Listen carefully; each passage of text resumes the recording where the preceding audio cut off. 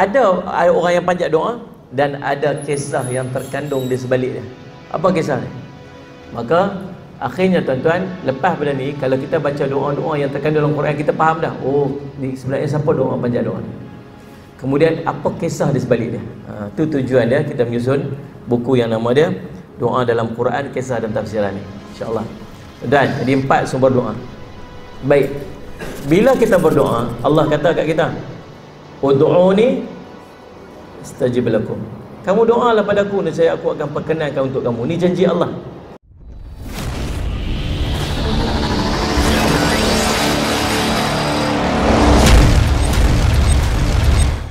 Assalamualaikum warahmatullahi wabarakatuh.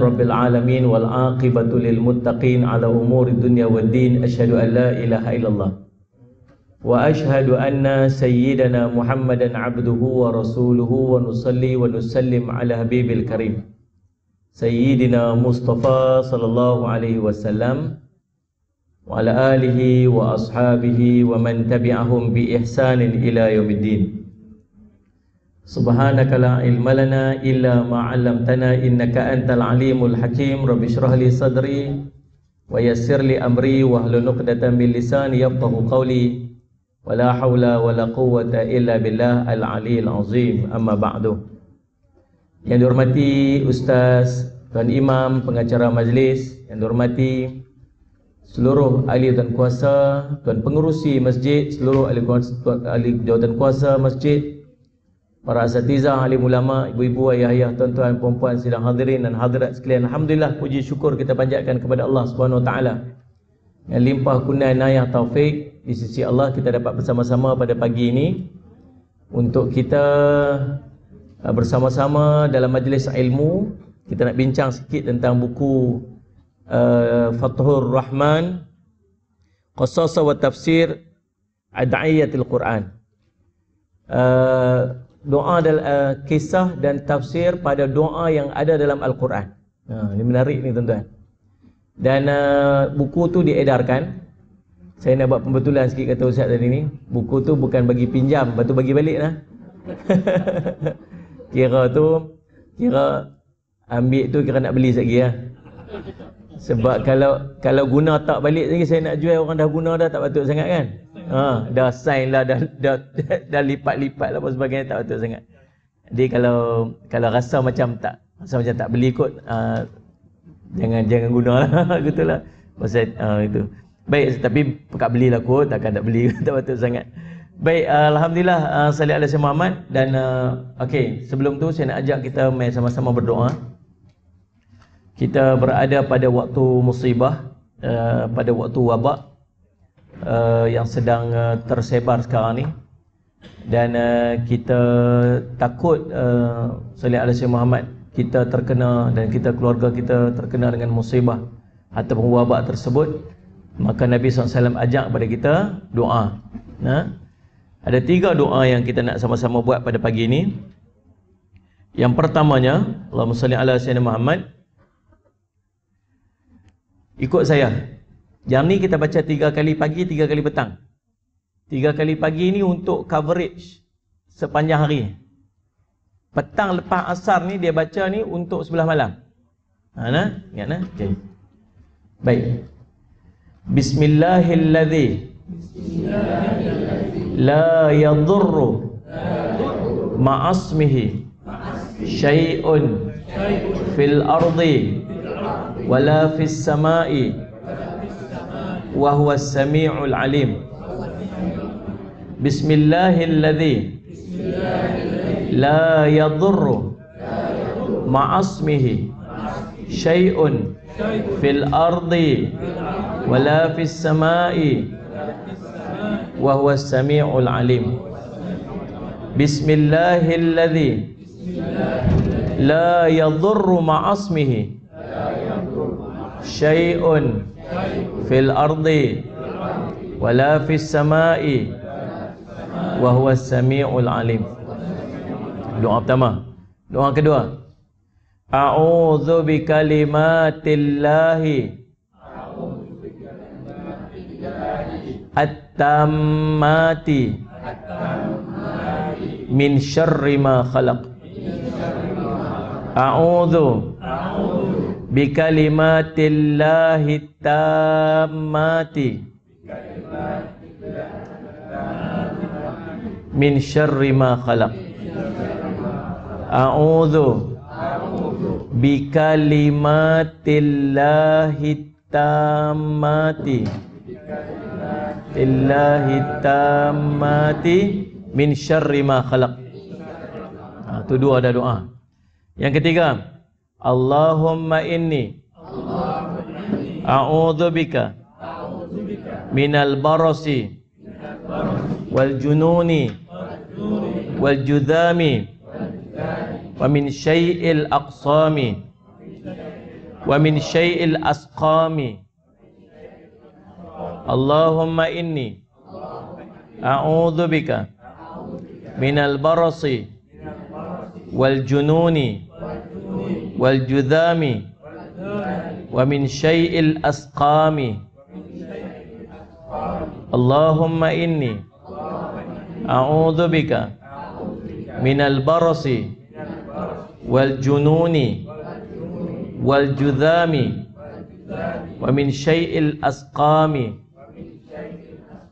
amin ya rabbal alamin. Ingat tu tiga doa nah amalkan pada setiap hari tiga kali pagi tiga kali petang. Mudah-mudahan Allah jauhkan kita daripada uh, ni musibah daripada wabak yang uh, sedang berlaku sekarang ni. Baik hari ini kita akan bincang uh, perbincangan kita terkait dengan doa-doa dalam al-Quran. Ini di antara salah satu daripada buku yang saya susun yang uh, Allahumma salli ala sayyidina Muhammad. Saya rasa sangat seronok menyusun dia. Ada empat buku dah. Ini buku yang keempat saya. Dan subhanallah salli ala sayyidina Muhammad. Seronok dia pasal apa? Yang pertama, doa ni memang kita selalu panjat dah. Doa ni biasa kita duduk, duduk, duduk sebut dah. Doa ni dia ada empat sumber. Yang pertama, sumber daripada Allah yang ni Al-Quran. Dalam Quran ada lebih kurang 60 doa. Lebih kurang 60 doa dalam Quran. Jadi kalau nak kira doa yang paling best, yang paling cantik, yang paling sempurna, yang paling perfect ialah doa yang Allah beritahu kat kita dalam Quran untuk kita amalkan. Yang kedua, sumber doa ni daripada hadis-hadis Nabi sallallahu alaihi wasallam. Nah, macam kita baca tadi ni bismillahirrahmanirrahim kita baca a'udzu bikalimatillahi tammatu kita baca Allahumma inni a'udzu bika min barasi. Itu semua doa-doa yang Nabi SAW ajak dalam hadis yang tidak ada dalam Quran. Yang ketiga doa-doa yang disusun oleh alim ulama. Tak ada dalam hadis tak ada dalam Quran ulama tolong susun doa-doa ni kat kita. Pun boleh juga ni sumber doa juga. Nah saya simak. Ni sumber-sumber doa. Yang keempat doa apa? Doa yang kita sendiri nak minta yang tak ada dalam hadis, tak ada dalam Quran, tak ada pada ulama, yang ada dalam hati kita ni. Kita nak apa? Nak loan kereta lulus, beli kereta, takkan nak cari dalam Quran atau mana nak cari. Tapi ada hadiah, Allahumma yassir wa la tu'assir rabbi tammi bil khair, ya Allah engkau permudahkan jangan engkau persulitkan gitu kan. Ya Allah bagilah lulus loan kereta ni. Ya, adalah. Wah ni saya semat. Ataupun berkenan kat siapa-siapa seorang kan, ya Allah bagilah jadi menantu aku tu comel je kan. Ustaz tu, ha gitu. Bukan saya lah. Tak ada silap syimat Dan sebagainya. Ha, Maka tu doa-doa pada sumber sendiri. Lalu subhanallah Bila kita tengok-tengok doa-doa dalam Quran ni Dia sangat menarik susunan dia. Sangat menarik. Pasal apa menarik? Pasal dia kalamullah. Kalam Allah. Rabbana taqabbal minna innaka antas sami'ul alim. Wahai Tuhan kami, terimalah daripada kami. Sungguhnya, anta engkau sami' mendengar alim lagi maha mengetahui. Rabbana atina fid dunya hasanah. Dia panggil ummud doa ibu pada segala doa. Jadi subhanallah bila kita baca doa ni kita tahu masya-Allah cantik ya doa ni. Terlintas di hati kita ni siapa yang panjat doa ni ya sebab dalam Quran ni dia ada sebab dia ada kisah.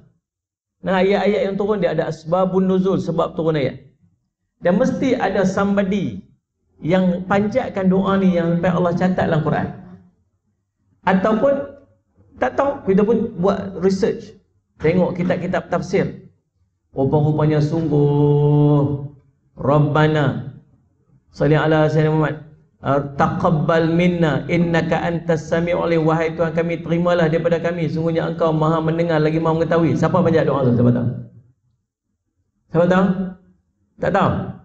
Sagi kita tahu Nabi Ibrahim alaihissalam Nabi Muhammad. Uh, Rabbana Salih ala Sayyid Muhammad. Ada hari saya kita review satu-satu. Hebat. Rupanya Masya Allah Semua ada orang yang memanjatkan doa tersebut.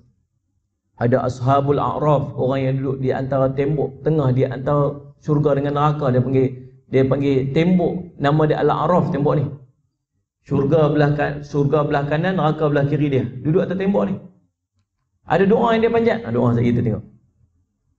Salih Allah Syahmat. Doa tentera-tentera Tolut. Waktu nak berhadapan dengan Jalut. Jadi subhanallah. Ada orang yang panjat doa. Dan ada kisah yang terkandung di sebaliknya. Apa kisah Maka akhirnya tuan-tuan. Lepas pada ni. Kalau kita baca doa-doa yang terkandung dalam Quran. Kita faham dah. Oh ni sebenarnya siapa doa panjat doa ni. Kemudian apa kisah di sebalik dia? Ha, itu tujuan dia kita menyusun buku yang nama dia Doa dalam Quran, Kisah dan Tafsiran ni. InsyaAllah. Dan jadi empat sumber doa. Baik. Bila kita berdoa, Allah kata kat kita, Udu'uni istajib lakum. Kamu doalah padaku saya aku akan perkenankan untuk kamu. Ni janji Allah. Janji Allah bila kita doa mesti Allah akan tunaikan. Tapi kita selalu tak berasa yang Allah makbulkan doa kita. Betul tak? Kita doa selalu kita tak berasa Allah makbulkan doa kita. Sedangkan Allah kata doa dekat aku aku akan makbulkan untuk kamu. Itu janji Allah. Allah bukan pernah mungkir janji dia. Manusia suka mungkir janji. Cakap tak betul. Nah, janji-janji-janji saya semat akhirnya mungkir janji. Itu manusia. Tapi Allah Allah kalau dia janji satu dia mesti akan bagi. Lepas tu dia panggil empat cara Allah makbulkan doa. Dan empat cara Allah makbul doa kita ni. Yang pertama, kalau doa tu baik untuk kita, waktu tu juga Allah akan makbulkan doa tersebut. Yang ni selalu kita dapat. Tadi pun dapat tadi. Tadi naik kereta sampai ke masjid. Naik kereta? Ada naik motor? Ada jalan kaki? Ada. Ni kereta ramai. Kereta orang sini mana ada. Semua kereta-kereta hebat-hebat tu. Masya Allah. Saya sebab. Kaya-kaya. Tak Amin. Oh, tengok. Oh, Faham tak? Kita masuk kereta daripada rumah kita baca doa. Baca doa. Subhanalladzi sakharana hadha wa ma kunna lahu mukrin wa inna ila rabbina lamunqalibun. Doa kan? Paling tidak dalam hati Allah bagi selamat aku ni. Baik ni nak pergi kuliah ni dalam hati tu fikir bagi Allah bagi selamatlah sampai ni. Doa tak tu? Doa. Allah makbul dah doa tu. Makbul tak? Ni sampai elok ni. Tapi berasa makbul tak? Tak pun. Tak kata Alhamdulillah pun sampai-sampai dia jumpa kawan dia eh baru sampai ah, macam tu ya makan tak lagi kira makan je dia dah lupa habis dah benda benda paling banyak Allah bagi doa kita ialah doa yang Allah makbulkan immediate. Yang ni paling banyak sekali. Kita makan, kita doa supaya selamat dalam waktu kita makan. Kita tidur, kita doa tidur, Allah bangunkan kita daripada tidur. Sebab tu selepas dapat nikmat kita kata apa? Alhamdulillah. Allah redha kata Nabi SAW. Kepada orang yang selepas dia mendapat nikmat dia kata Alhamdulillah. Allah akan redha kat dia. Pasal ramai orang yang minta bila dia tak dapat tapi lepas dia dapat dia lupa apa yang dia minta. Dia lupa saya siapa nah dapat makan ya Allah bagilah aku makan. Lepas makan bangun pergi dia. Kau nak kata alhamdulillah sikit pun tak sifat kita. Yang pertama kita doa pada Allah. Allah makbulkan doa. Kalau doa yang kita minta itu baik untuk kita. Kita bukan tahu kita tak tahu future kita tak tahu ke depan. Yang kedua doa yang kita minta ini doa Allahumma salli ala sayyidina Muhammad yang tak baik untuk kita waktu ni. Dan Allah akan makbulkan pada waktu yang sesuai untuk kita. Kita minta ya Allah bagilah aku benda ni. Kita berasa macam benda yang kita minta tu sesuai untuk kita waktu ni Tapi tak Allah tahu kalau kamu dapat benda ni rosak kamu, kamu akan rosak. Maka Allah bagi kat kita tu lepas tu berapa lama, berapa sekian lama tu baru Allah bagi pada kita.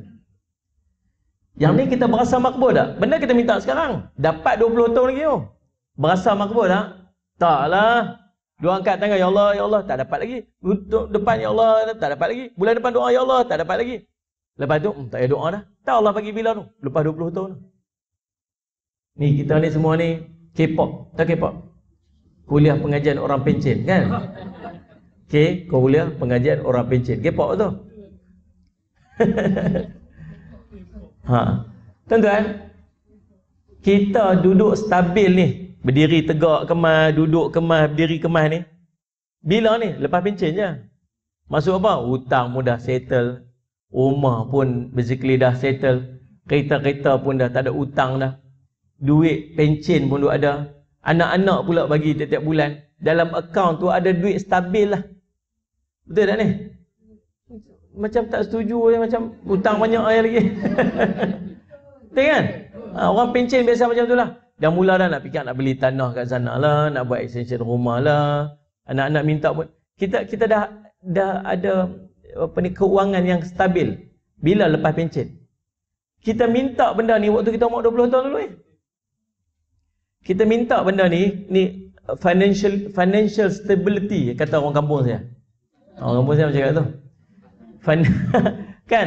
Financial stability ni stabilnya keuangan kita kita minta waktu kita mula kerja dulu ni. Oh Ustaz kalau saya ni ni nak kerja ni kalau boleh saya tak mau ada hutang Ustaz.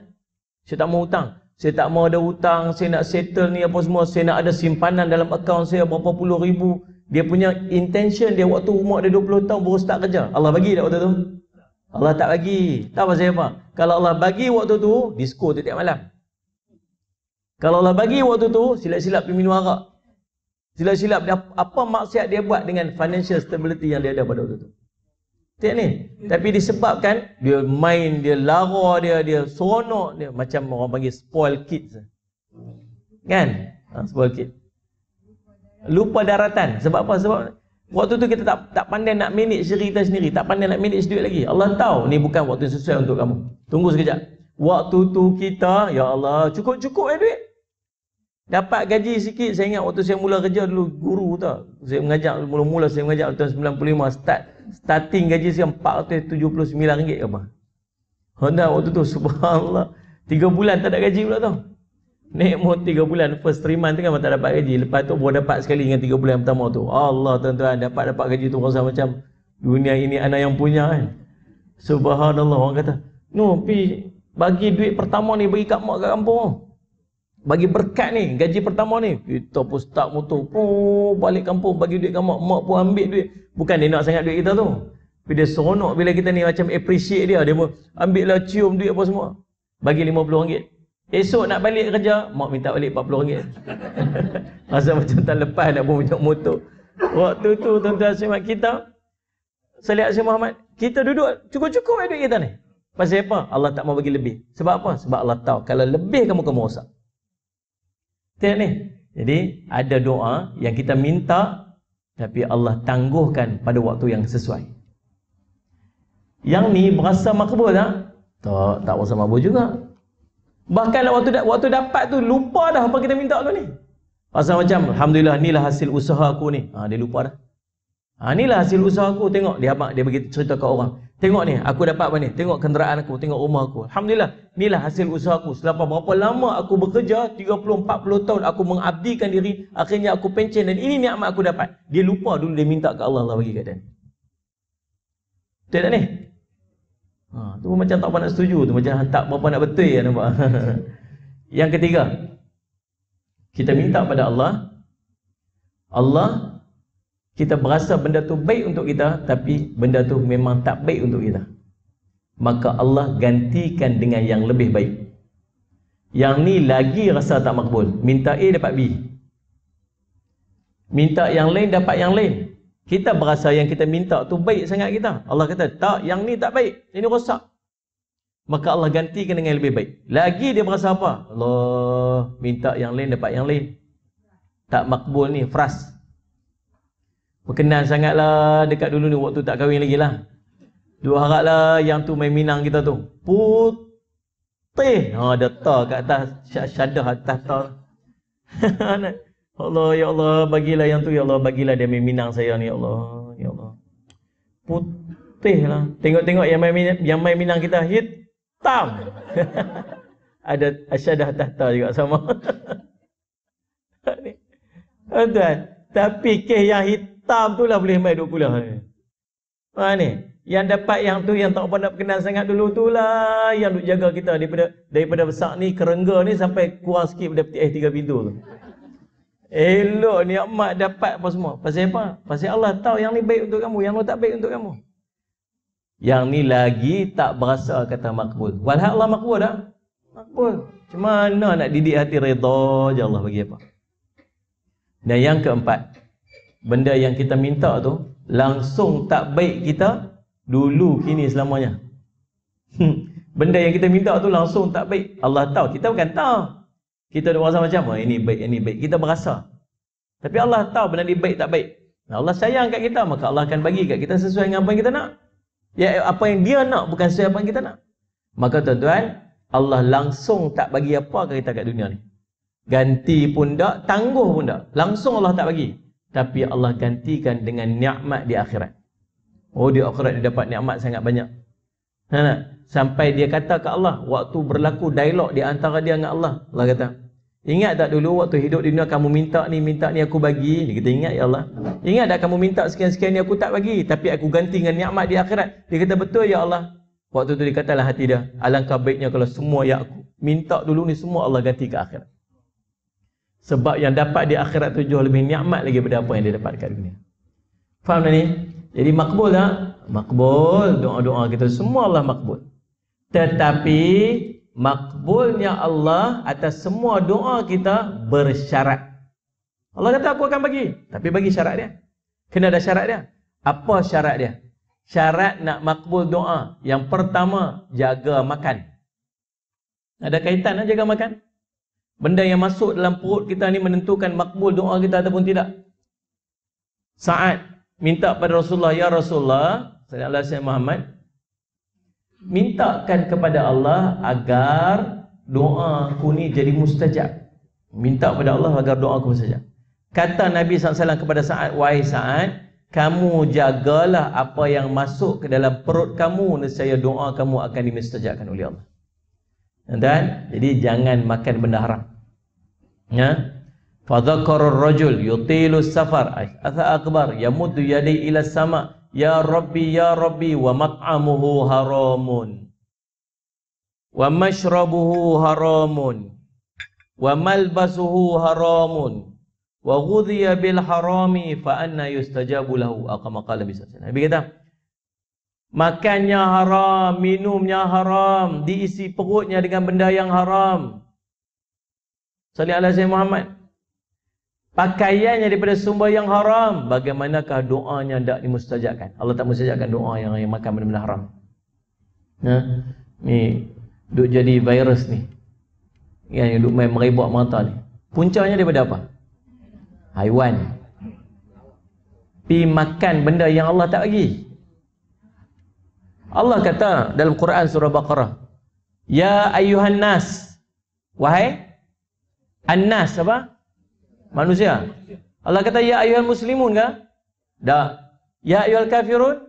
Tak. Allah kata ya ayuhan nas. Wahai manusia semua. Orang Islam ke orang kafir ke siapa siapa semua. Kulu mimma. Makanlah daripada fil ardi daripada dunia ni. Sallallahu alaihi wasallam. Kulu mimma fil ardi halalan tayyiban. Makanlah daripada dunia ni rezeki yang aku bagi ni halal lagi baik. Tak nak? Allah suruh semua. Tak pasal apa? Pasal yang salah makan nanti kena penyakit bukan kamu seorang yang kena. Orang lain pun kena sekali. Salih Allah Muhammad. Tang orang Islam Allah kata, "Kulu mimma uh, Ustaz Muhammad, ya ayyuhar rusul, kulu minat tayyibat wa'malu salihan." Ha ni untuk orang beriman. Wahai orang beriman, makan yang baik-baik dan lakukan amal soleh. Tahu orang baik-baik, tahu orang beriman, makan baik-baik nanti buat amal soleh. Pasal amal soleh dia terkait dengan makanan yang baik. Orang yang makan tak jaga, dia amal soleh tak sedap. Dia tak seronok nak buat ibadat. Hati dia kotor sebab makanan yang tak baik. Nak dapat amal soleh yang baik, amal soleh yang bersungguh, yang sedap, yang khusyuk, jaga makan. Kalau salih ala Muhammad, makan tak baik, amal soleh tak sedap. Tak syok. Ini untuk orang beriman.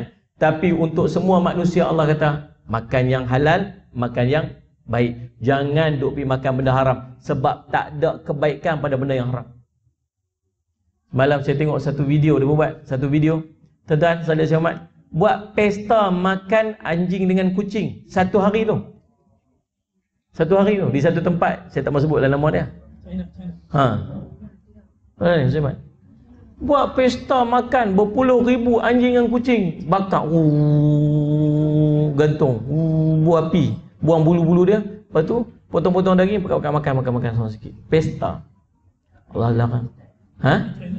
Bukan-bukan. Tempat lagi boleh apa yang inilah menjadi penyebab munculnya wabak-wabak macam ni. Bila kena bukan setakat kita bukan setakat dia. Habis semua orang jadi masalah. Jaga. Orang Islam kena jaga benda ni macam ni. Nah salih sebab tu Allah sebut dalam Quran ya ayuhan nas wahai manusia. Bukan setakat ya alladzina amanu orang beriman saja.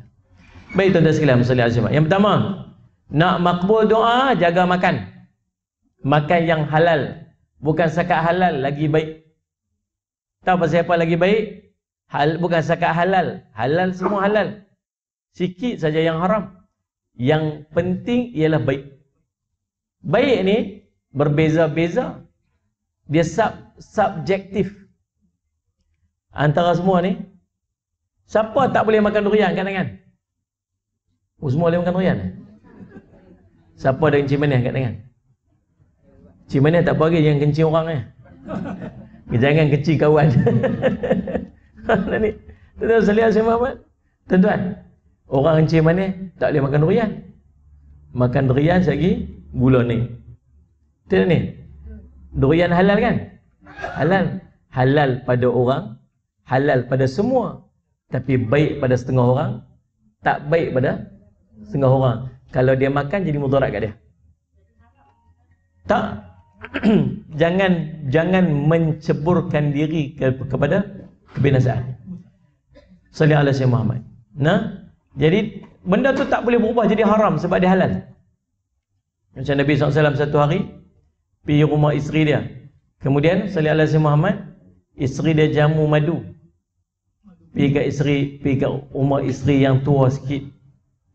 Yang yang tua-tua ni pandai duk picit-picit. Kan ni? sembang-sembang jamu minum pandai masak. Balik-balik rumah isteri yang lain cemburu. Minum apa? Minum apa dia ni? Hmm. apa semua? Sedaplah minum kat sana tu. Macam tu lebih kurang kan? Ha, cemburu. Biasalah manusia. Biasa manusia cemburu akhirnya Nabi kata apa? Tak apa aku haramkan makanan tu pada diriku. Lalu Allah turunkan ayat jangan kamu haramkan apa yang telah aku halalkan. Jangan kamu haramkan apa yang telah aku halalkan jangan kamu halalkan apa yang telah aku halal haramkan. Allah perintah pada Nabi SAW tegur Nabi SAW maka benda halal dia takkan berubah jadi haram. Benda haram dia takkan berubah jadi halal. Nah saya semat tapi yang baik itu dia terkait dengan individu. Salih ala Syekh Muhammad. Nah gula halal ada orang yang tak boleh minum gula bukan tak boleh minum langsung kena jaga gula boleh jadi mudarat dekat dia ada orang yang kena dialisis tak boleh makan pisang. Pisang tu halal. Dia banyak potasium. Ha, saya semak tuan Jadi subhanallah kena faham kedudukan halal lagi baik. Allah suruh makan bukan sakat yang halal, makan yang baik. Tuan-tuan saya semak. Maka yang pertama jaga makan. Yang kedua, jaga adab ketika berdoa. Nak Allah makbulkan doa, jaga adab ketika berdoa. Apa adab ketika berdoa? Yang pertama, cari waktu-waktu mustajab doa. Macam Nabi SAW cerita dalam hadis yang saya bacakan tadi. Fadhakara rajul yutilu safar.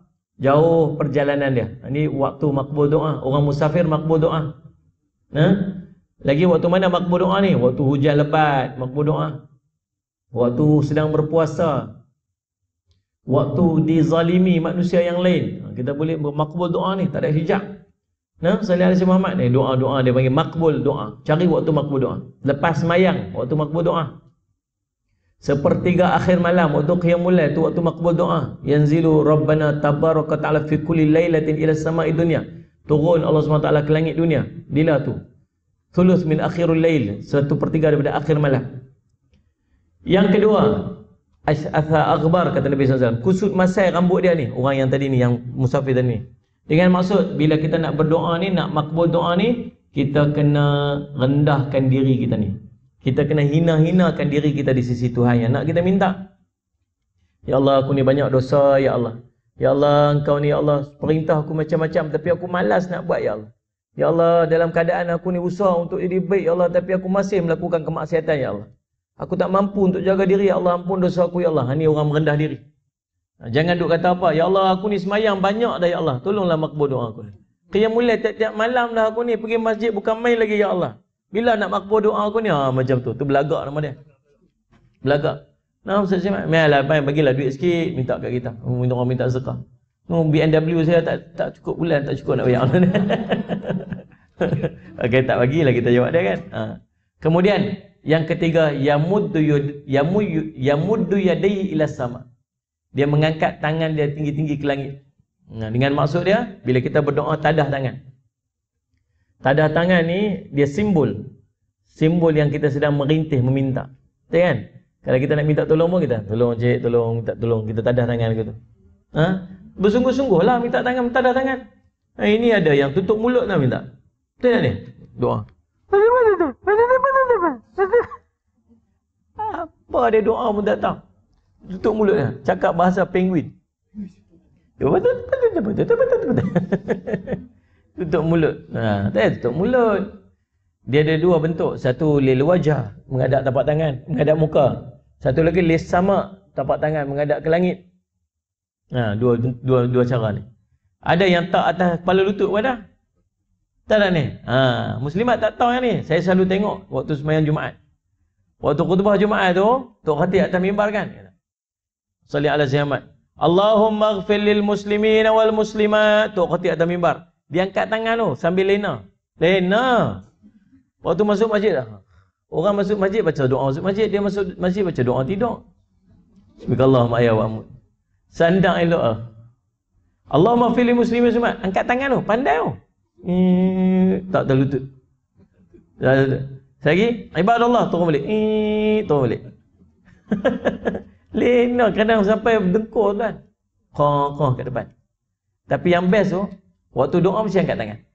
Yang kedua, saya kata, aqimus salah. Panggil je bangun. Bangun selalu. Bangun. La elok. Buka kawan sebelah kau ni. Air aircon mana turun. Subhanallah. Lena tu tu, Masya Allah. Sungguhlah doa. Doa tu bersungguh-sungguh sikit. Angkat, angkat sungguh-sungguh. Kalau minta ke orang ni, dua tangan.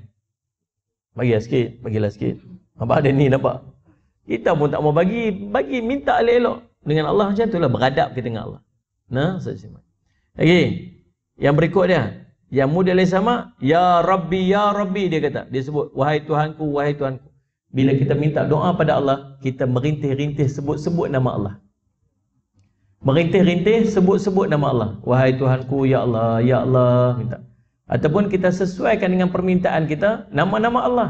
Ya Rahman, Ya Rahim, Ya Zal Jalali wal Ikram, Ya Razzaq, Ya Fattah, Ya Alim, Ya Badi'us Samawati wal Ard. Ulang-ulang. Sebut-sebut nama-nama sifat-sifat Allah. Nah, ya, ya Wahhab, wahai si pengurnia. Nah, ya ya Halim, wahai yang lemah lembut. Minta Ustaz Syamad. Tuan-tuan, nah minta sesuai dengan apa kita minta. Ulang-ulang. Dan yang berikut dia apa? Ulang-ulang doa tanpa jemu. Ulang doa. Ulang aja. Allah tak jemu nak dengar doa kita ni. Ulang-ulang doa. Pagi ni minta sama, petang minta sama, lepas tu minta sama lagi, lepas tu minta sama lagi. Kalau orang lain minta-minta lagu tu, tuan-tuan dekat kita, kita pun jemu, tak ada benda lain nak minta. Nah, asyik-asyik beras, asyik beras, asyik beras. Dalam pelekat tu apa semua dekat mangkuk tu, cerita apa? Alibaba punya lepuk. Kan, Alibaba tu kan. Tuan-tuan salli ala Sayyidina Muhammad. Jadi subhanallah salli ala Muhammad. Manusia jemu, Allah tak pernah jemu. Allah seronok. Kata Nabi SAW, Allah malu. Allah malu apabila hamba dia mengangkat tangan lalu dibiarkan tanpa diberikan. Sallallahu alaihi Muhammad. Allah akan bagi. Baik.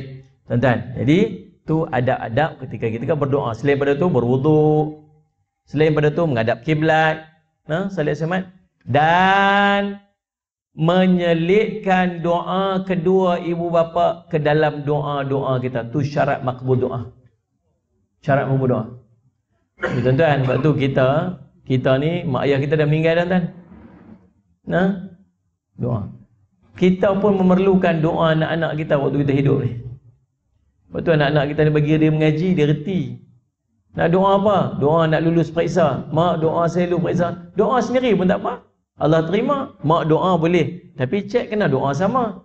Cek doa. Ingat, nak syarat makbul doa, kena doa pada ibu dan ayah juga. Nah ini, Ya Allah, Allahumma gfirli, sunubi, wali walidayya, warhamhuma kama rabbayin saghira. Ya Allah, ya Tuhanku, engkau berilah aku kemudahan untuk menjawab periksaan ini. Ya Allah, engkau lapangkanlah dada aku. Masukkan doa ibu dan ayah dulu. Nah, saya syamatan. Dan waktu paling perfect, paling cantik untuk kita selitkan doa pada ibu dan ayah ni waktu mana? Kata ulama, waktu kita duduk pada tasyahud akhir sebelum kita memberi salam. Masukkan doa pada ibu dan ayah ni di hujung sembahyang kita tu. Dan ni, innaka hamidun majid. Allahumma gfirli wali walidayya warhamhuma kama rabbaini saghira. Allahumma inni a'udzu bika min adzabi jahannam wa min adzabil qabri wa min fitnatil mahya wal mamat wa min fitnatil masiihid dajjal Allahumma a'inni ala dzikrika wa syukrika wa husni ibadatik Assalamu alaikum warahmatullahi Assalamualaikum warahmatullahi Boleh? Baik, tuan-tuan, ah tu. Mai kita masuk kitab kita ni, baru masuk kitab ni. Ha, insya-Allah kita habis dalam pukul 2.30 lagi insya-Allah. Tak apa nak gelak Doa yang pertama Rabbana Itu ada kitab dekat depan Ada kitab kat sini Ni uh, hantar kitab situ kat sini Rabbana taqabbal minna innaka antas samiul alim. Siapa tak ada kitab lagi angkat tangan orang hantar kitab. Ada ni. Mana pembantu-pembantu saya ni? Hilang. Hilang. Rabbana taqabbal minna innaka antas samiul alim. Wahai Tuhan kami, terimalah daripada kami amalan kami. Sesungguhnya Engkau Maha mendengar lagi Maha mengetahui. Surah Al-Baqarah ayat 127. Siapa yang panjat doa ini dan apakah kisah dan tafsiran di sebaliknya? Doa ini dipanjatkan oleh Nabi Ibrahim dan anaknya Nabi Ismail alaihi salam selepas pembinaan Kaabah. Oh, rupanya doa ni dipanjatkan oleh Nabi Ibrahim dan Nabi Ismail bila lepas siap Kaabah. Allah berfirman, "Wa idh yarfa'u Ibrahimul qawa'ida minal baiti wa Ismaila wa Ismailu rabbana taqabbal minna innaka antas samiul alim." Dan ingatlah ketika Ibrahim meninggikan yakni membina dasar-dasar Baitullah bersama Ismail, saya berdoa, Wahai Tuhan kami, terimalah daripada kami amalan kami, sesungguhnya Engkau Maha mendengar lagi Maha mengetahui. Al-qawaid adalah jamak kepada lafaz qaidah. Bermaksud tiang ataupun tapak asas. Allah berfirman, wahai Muhammad ceritakan kepada kaummu kisah Ibrahim dan Ismail membina Kaabah dan meninggikan tapak asas dilakukan oleh keduanya, kemudian keduanya berdoa, wahai Tuhan kami, terimalah dari kami amalan kami. Sesungguhnya Engkau Maha mulia lagi Maha, maha mendengar lagi Maha mengetahui. Menurut Imam Ibn Kathir, bacaan doa ini dibaca oleh Nabi Ibrahim dan Ismail seperti firman Allah Ta'ala. Ya Tuhan kami, jadikanlah kami berdua anak orang yang tunduk patuh kepada engkau. Dan jadikanlah di antara kami anak cucu kami umat yang tunduk patuh kepada engkau. Surah Al-Baqarah, ayat ini akan dibincangkan pada doa kedua nanti. Walaupun mereka melakukan amal saleh membina Kaabah, namun mereka tetap berdoa amalan mereka itu yang dilakukan itu diterima oleh Allah Subhanahu Wa Taala. Salih ala saya Muhammad. Tengok. Direkodkan oleh Wahid bin Wa'ad dia membaca firman-Nya. Dan ingatlah ketika Ibrahim meninggikan dasar-dasar Baitullah bersama Ismail, wahai lalu mereka berdoa wahai Tuhan kami terimalah daripada kami amalan kami. Selesai membaca firman Allah itu Wahid bin Wa'ad menangis dan berkata, Wahai kekasih Allah yang maha pemurah Engkau sedang meninggikan dasar-dasar baitullah Tetap engkau merasa takut amal kamu Amal tidak diterima Tuan-tuan tengok.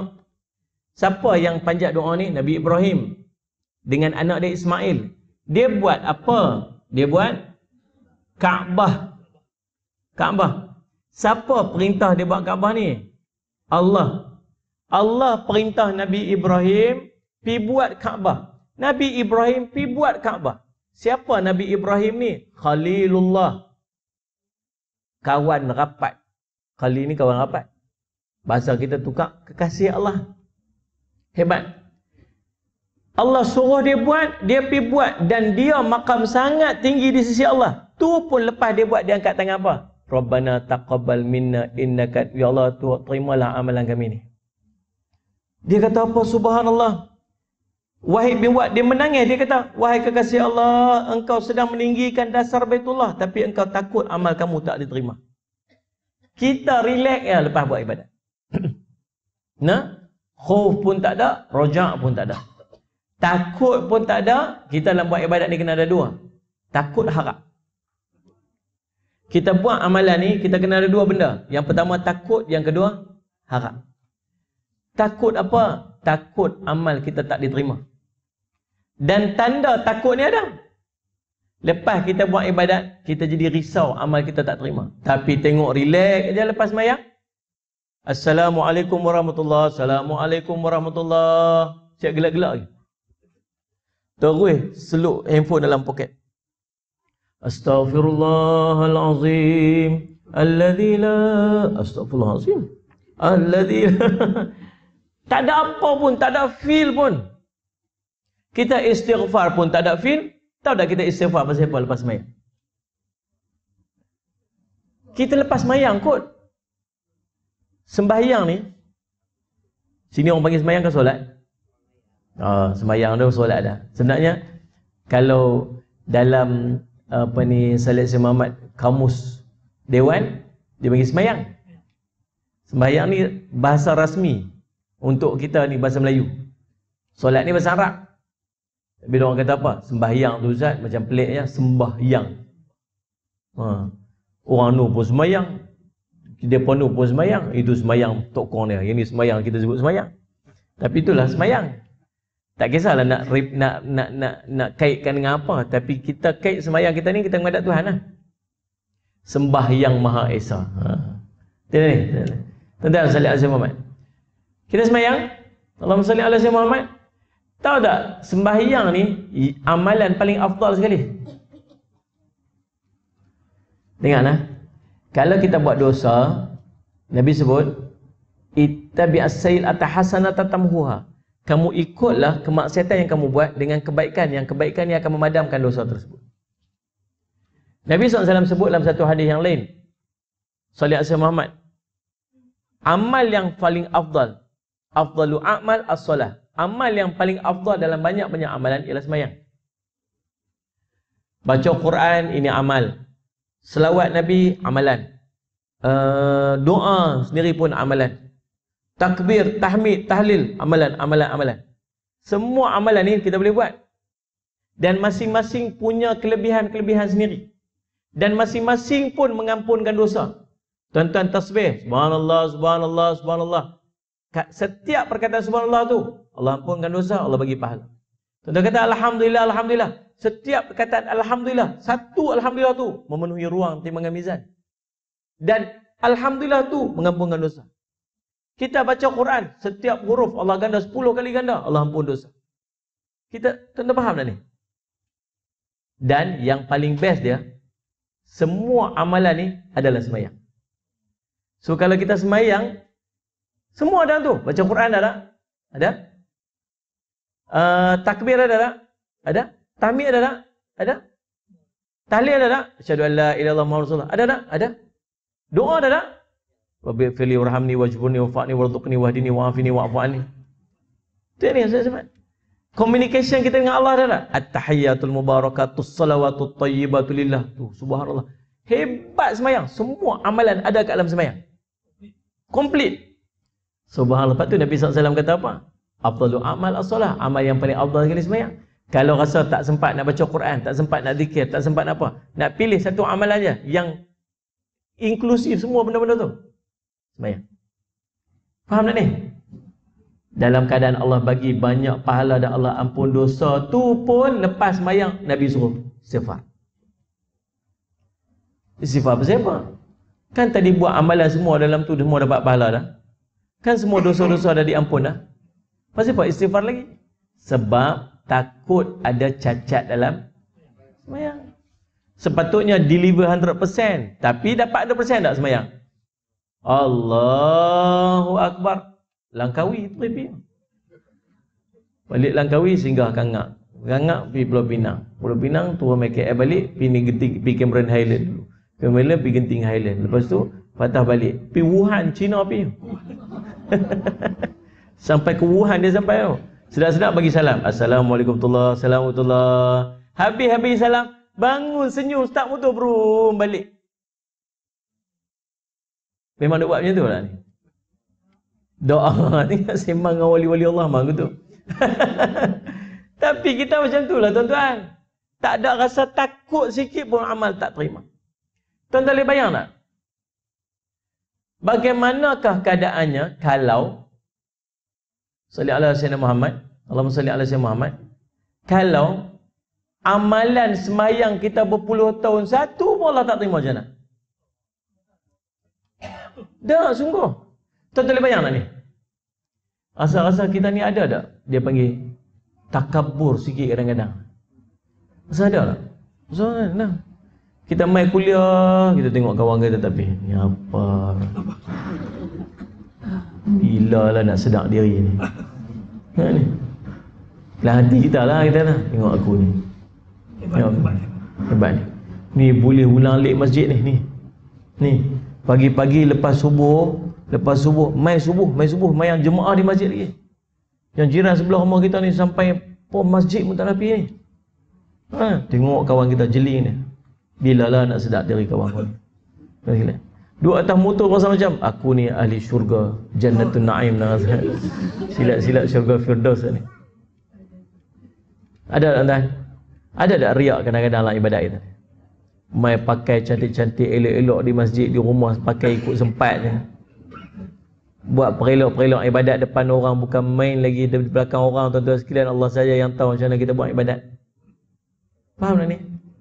Tuan-tuan agaklah sepanjang daripada daripada kita buat ibadat daripada semalam ni daripada subuh semalam ni Kemudian kita semayang duha, kemudian kita zikir lagi, kemudian kita semayang zuhur lagi, kemudian kita baca Quran lagi, kemudian kita selawat Nabi lagi, kita semayang maghrib, semayang isyak apa semua yang kita buat sepanjang hari tu. Agak-agak dalam banyak-banyak tu yang mana betul-betul sampai dekat Allah. Sebab naik saja satu amal tu, naik je. Sampai langit pertama ada takabur, turun balik. Turun balik. Kira riak, ujuk apa semua tu lagi tu sampai-sampai atas sekali dah. Satu tingkat lagi nak sampai Allah. Ada tak ikhlas. Tak ikhlas. Buat pasal siapa-siapa. Buat pasal ada kena. Turun balik. Allah SWT. Itulah. Ni. Boleh jadi tak pipi depan Allah berasa macam ada semayang. Tiba-tiba tak suruh tak ada semayang. Boleh jadi tak pipi depan Allah rasa-rasa macam ada puasa berpuluh tahun kita buat. Tengok-tengok satu pun tak ada. Lekatlah sehari dua, sehari dua. Allah, macam mana? Faham tak ni? Habis tu kalau macam tak takut kan? Tak takut bibir Allah. Ni semayang kita buat ni sebelum ni. Lepas-lepas pergi salam tu. Rasa macam confident sangat tak semayang aku tadi Allah terima. Dengan tak khusyuknya dengan Fatihah pun tunggal langgarnya dengan apa. Nak tahu khusyuk tak khusyuk tanya lepas semayang tu. Tadi tu imam baca surah apa? ni. Lepas-lepas mayang ni saja-saja balik kan. Lepas pergi mayang subuh dengan suami ataupun suami pergi mayang subuh kita duduk kat rumah. Dia balik-balik rumah tanya uh, Assalamualaikum. Oh sampai dah masya-Allah. Saya saya masuk rumah. Ni soalan pertama saya nak tanya sebelum masuk rumah ni. Apa dia? Tadi tu imam rakaat pertama baca surah apa, rakaat kedua baca surah apa? dia kata saya nak telefon tu imam saya. Dia dua ya. Yang pertama tu imam tu baca surah petik dalam Quran dia mana dia ingat surah apa. ha, ni. Kalau baca ayat lazim tu bolehlah ingat apa semua sikit. Tuan-tuan sekalian alaihi wasallam. Tak khusyuk. Baik tu buat apa? Takut, takut amal Allah tak terima. Takut amal Allah tak terima tuan. Allah muslimat. Tuan-tuan tahu tak kita umat Nabi Muhammad SAW? Allah bagi dekat kita kelebihan. Amal kita pahala banyak, dosa kita sikit. Kalau kita buat satu amal, Allah bagi sampai 10 kali ganda.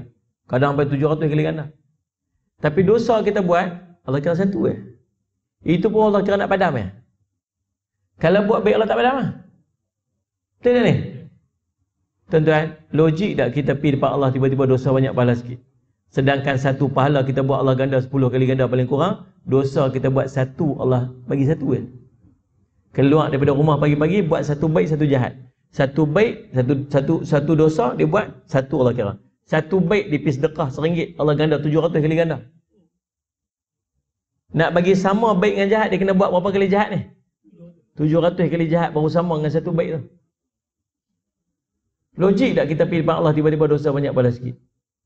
Tak. Tapi pasal apa Allah duk cerita dalam dalam dalam Quran Nabi SAW cerita dalam hadis ada umat Nabi Muhammad di depan Allah dosa banyak pahala sikit. Sebab ramai orang yang jahil. Tuan-tuan saudara kita pun duk rasa macam ada ada ada. Tiada tak ada. Yang ikhlasnya nampak buat jahat ikhlas daripada buat baik. Betul ni? Kalau buat baik nak cerita ke orang semua orang tahu. Kalau orang tak tahu tak best. Betul ni? puasa dia puasa sunat kalau orang tak tahu mana best dia buat muka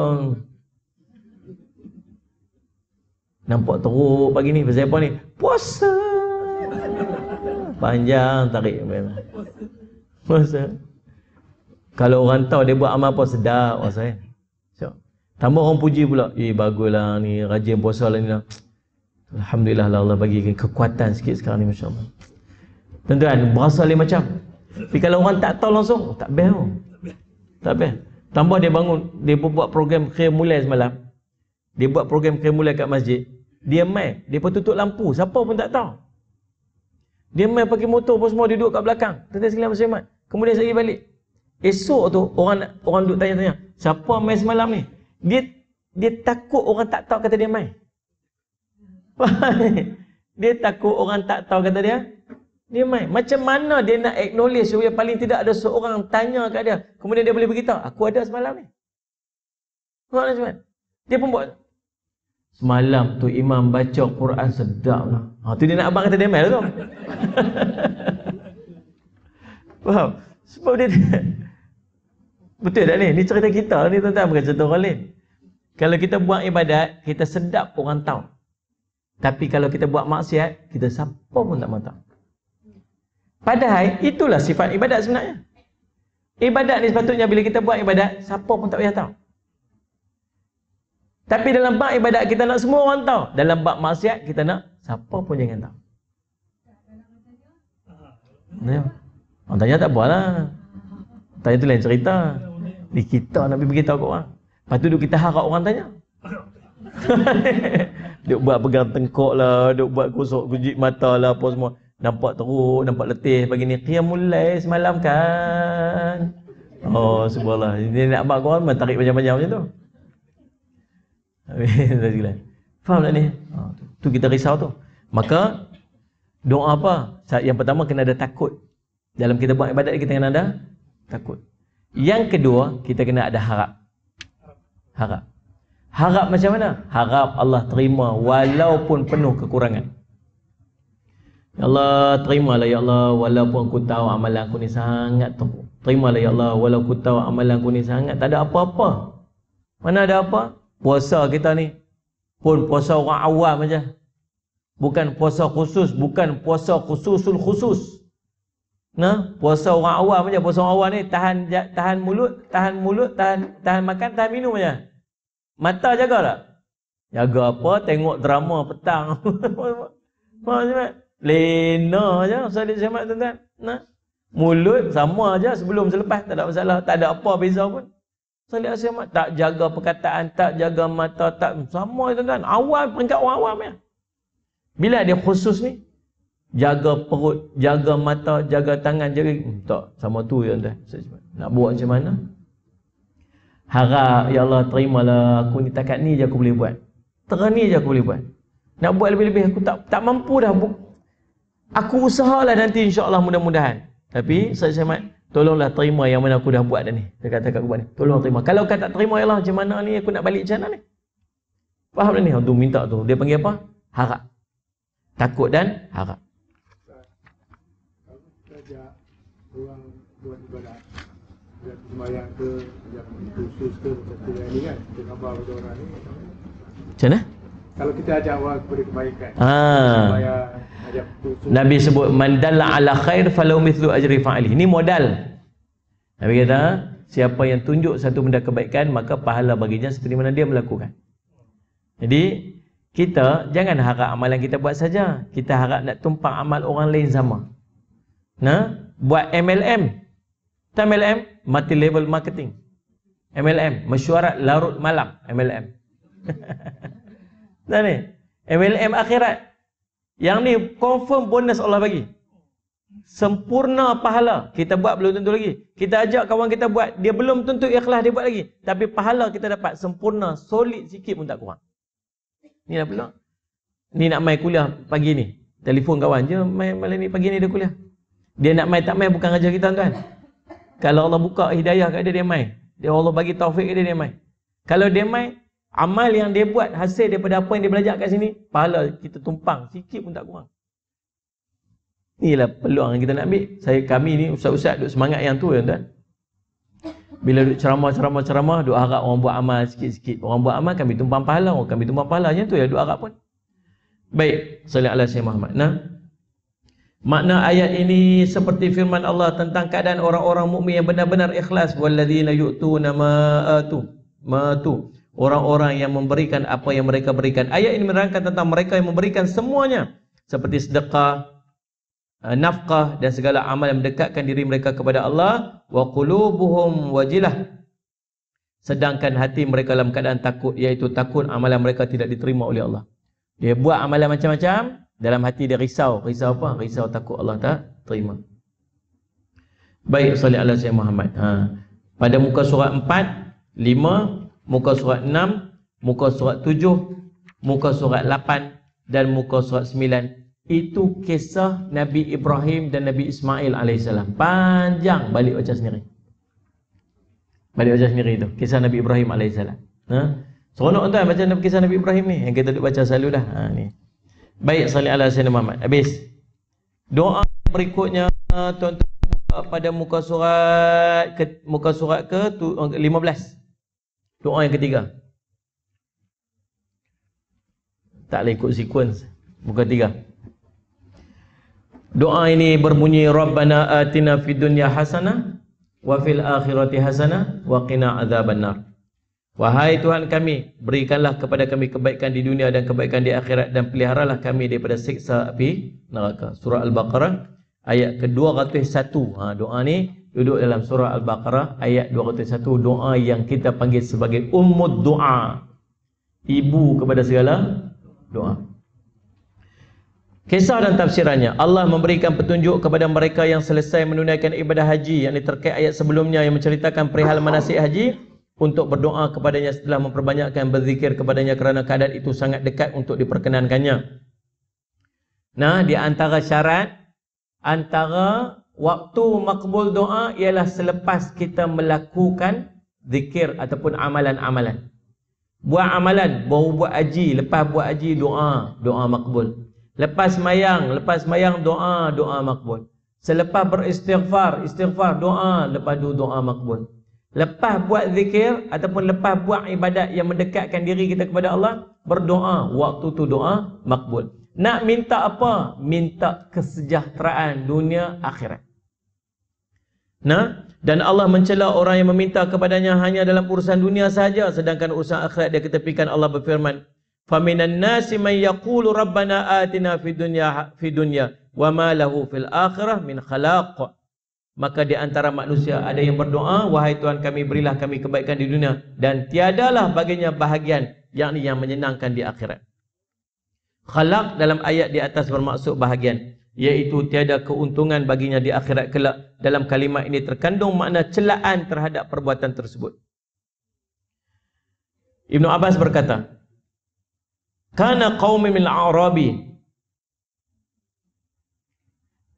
Uh, sesungguhnya dahulu ada satu kaum daripada kalangan orang Arabi, orang-orang Arab Bedui. Datang ke tempat wukuf. Lalu mereka berdoa, "Wahai Tuhan kami ya Allah, jadikanlah tahun ini tahun yang penuh dengan hujan, tahun kesuburan dan tahun banyak anak-anak yang baik-baik." Mereka pun tidak menjelitkan permintaan untuk akhirat walau sedikit pun. Maka Allah berfirman, Faminan nasi man yaqulu rabbana atina fid dunya wa ma lahu fil akhirati min khalaq. Maka di antara manusia ada yang berdoa bagi ya Tuhan kami berilah kami kebaikan di dunia dan tiadalah baginya kebahagiaan di akhirat yang menyenangkan di akhirat.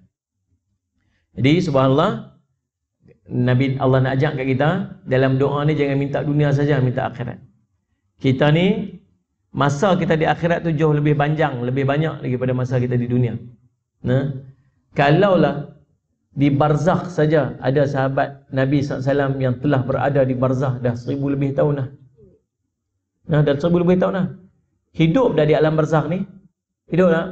Hidup tuan-tuan. Hidup cara alam barzakh. Sebab ada nikmat, ada azab. Kalau ada nikmat, ada azab, maksud dia, dia hidup lah. Baru dia boleh merasakan nikmat dan azab tu. Berapa lama dia duduk, duduk di alam barzakh? Tak tahu tuan-tuan. Tak ribuan tahun kita duduk kat situ. Kalau seribu tahun, kita hidup di dunia 60-70 tahun kata Nabi SAW umur umatku bina siti ila sabain maksud dia baru 6% aja kehidupan kita di barzakh tu nak banding dengan kehidupan kita di dunia ni faham tak ni tu tak kira di, di padang mahsyar lagi entah berapa lama kita nak berdiri kat padang mahsyar nak tunggu untuk selesai Duk berdiri saja, berdiri saja tunggu untuk kita dihisap. Berdiri saja. Waktu tu belum pasang mizan, belum tarik neraka mai, belum. Berdiri saja ni tunggu tak tahu nak buat apa ni. 70 tahun. Kata satu hadis dalam riwayat Abu Hurairah radhiyallahu anhu. Yang tenggelam dalam peluh.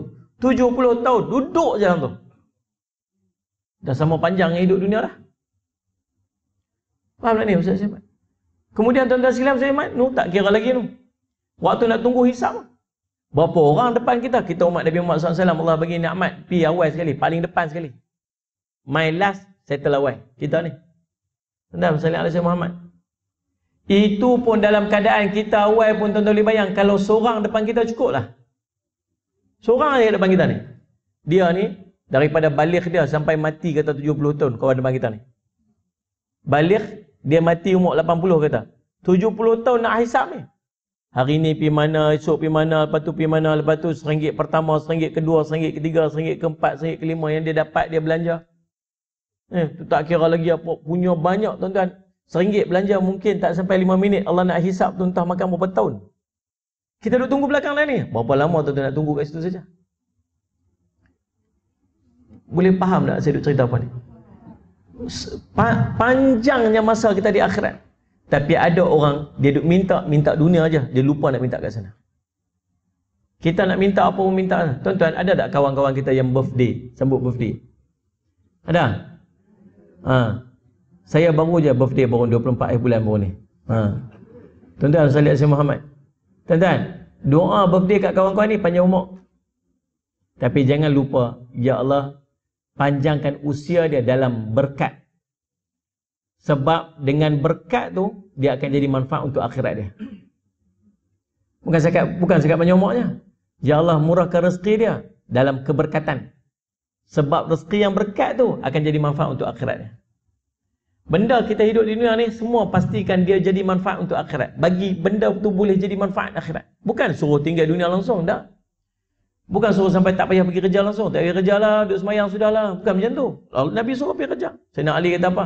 Kerjalah kamu sebagaimana kamu akan hidup selama-lamanya. Dan ibadatlah kamu sebagaimana kamu akan mati esok hari. Faham tak? Suruh-suruh kerja. Tapi jadikan kerja gitu, boleh jadi manfaat untuk akhirat. Sebab tu minta, kalau nak minta, jangan minta dunia saja, minta akhirat. Ya Allah, kurniakanlah aku anak-anak yang anak-anak.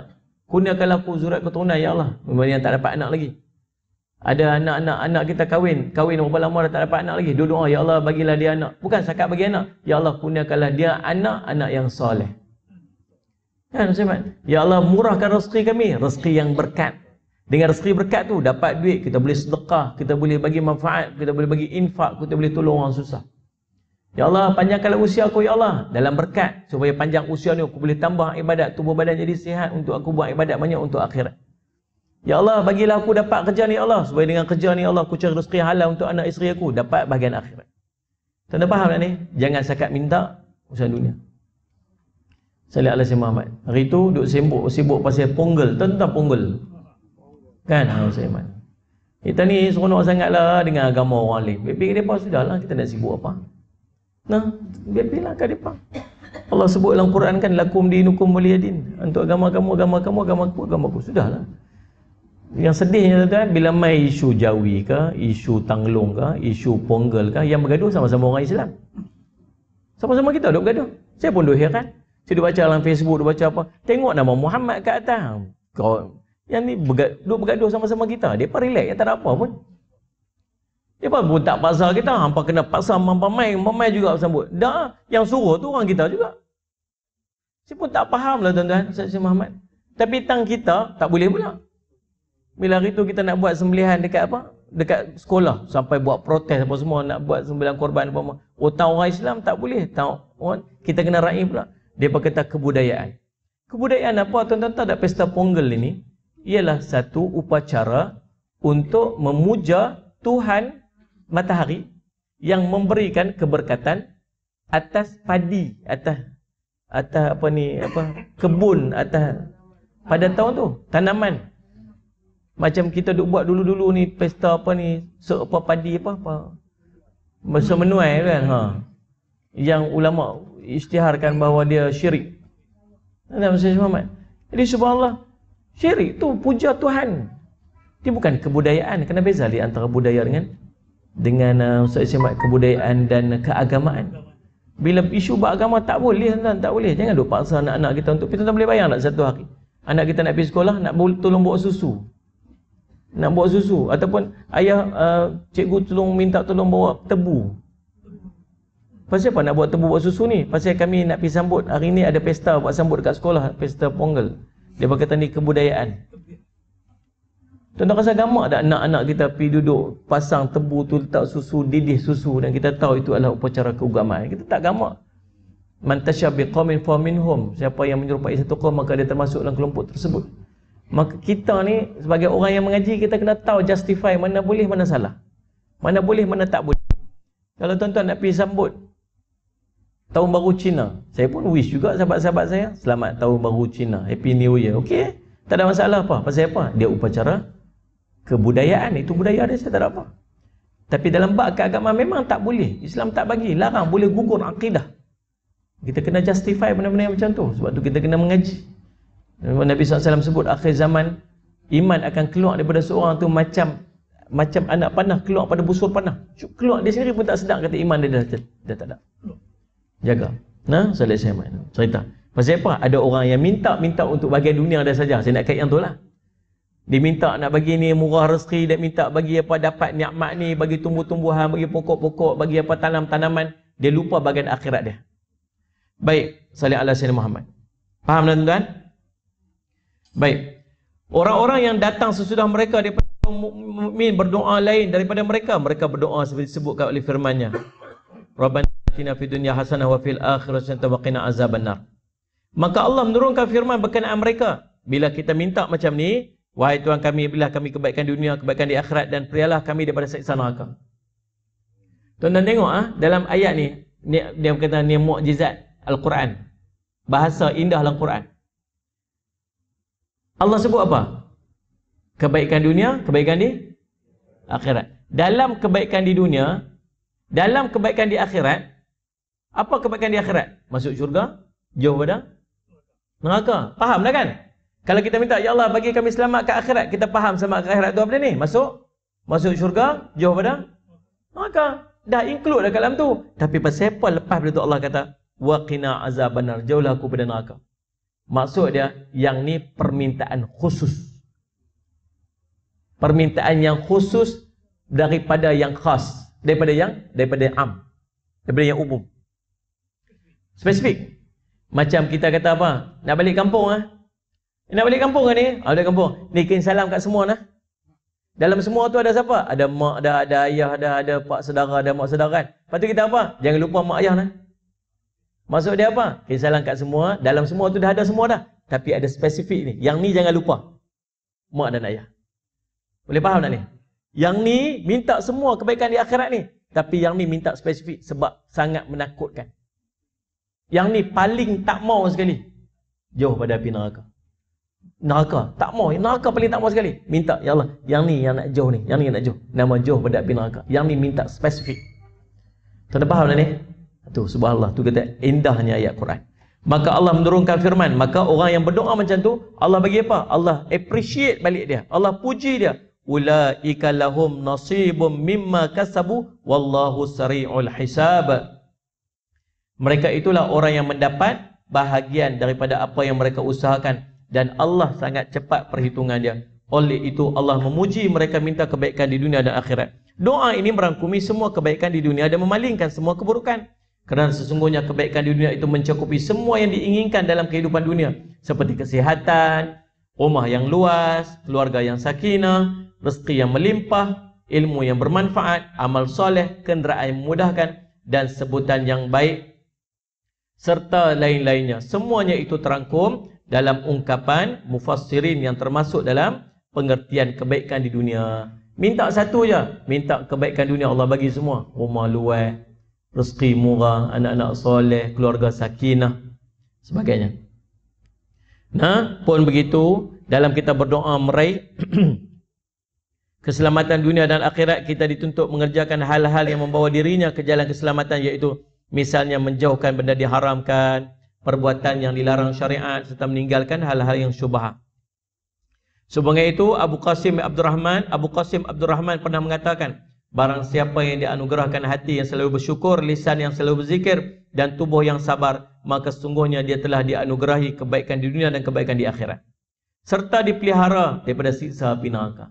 Siapa ni? Allah yang orang yang Allah anugerahkan kepada dia hati yang sentiasa bersyukur. Benda ni Allah bagi. Tanda orang tu nak dapat bahagia dunia akhirat, Allah masukkan tanda dalam hati dia. Apa dia? Hati dia sentiasa syukur. Dia panggil qanaah. Qanaah. Install masuk. Lisan yang selalu berzikir. Lagi tubuh yang sabar. Ha, orang ni Allah bagi kat dia. Tahu dah orang ni akan dapat kebaikan dunia, kebaikan akhirat. Baik. Salih ala Sayyid Muhammad. Ni uh, Salih ala Sayyid Muhammad hadis-hadis menceritakan tentang uh, doa Nabi SAW. Anas melaporkan beliau mendengar Rasulullah berkata, Rabbana Allahumma Rabbana atina fid dunya hasanah fil akhirati qina adzabannar. Abdul Aziz melaporkan Qatadah pernah bertanya kepada Anas satu doa yang paling banyak dibaca oleh Nabi SAW. Qatadah tanya, Doa apa yang Nabi SAW paling banyak sekali baca? Maka Anas menjawab, Nabi sering kali membaca, Rabbana atina fi dunya hasanah, wa fil akhirati hasanah, wa qina azabannar. Kita kalau kita tengok tu imam duk baca, doa sampai Rabbana atina fi dunya, kita tahu tu doa Nabi. kan? Uh, tu tanda-tanda doa Nabi. Sama macam juga tanda-tanda nak masuk Ramadan. Apa tanda nak masuk Ramadan? Itu tanda nak masuk Ramadan. Di tanda doa Nabi dah. Ha tu, Rabbana atina fid dunya doa Nabi. Tengok-tengok dia sambung doa lain pula. Dia kita buat bid'ah tu imam ni. tak kan tak lah kat mana pun, tak kat depan pun tak apa, tak belakang pun tak apa. Kita ni biasa doa ni tak paling belakang sekali.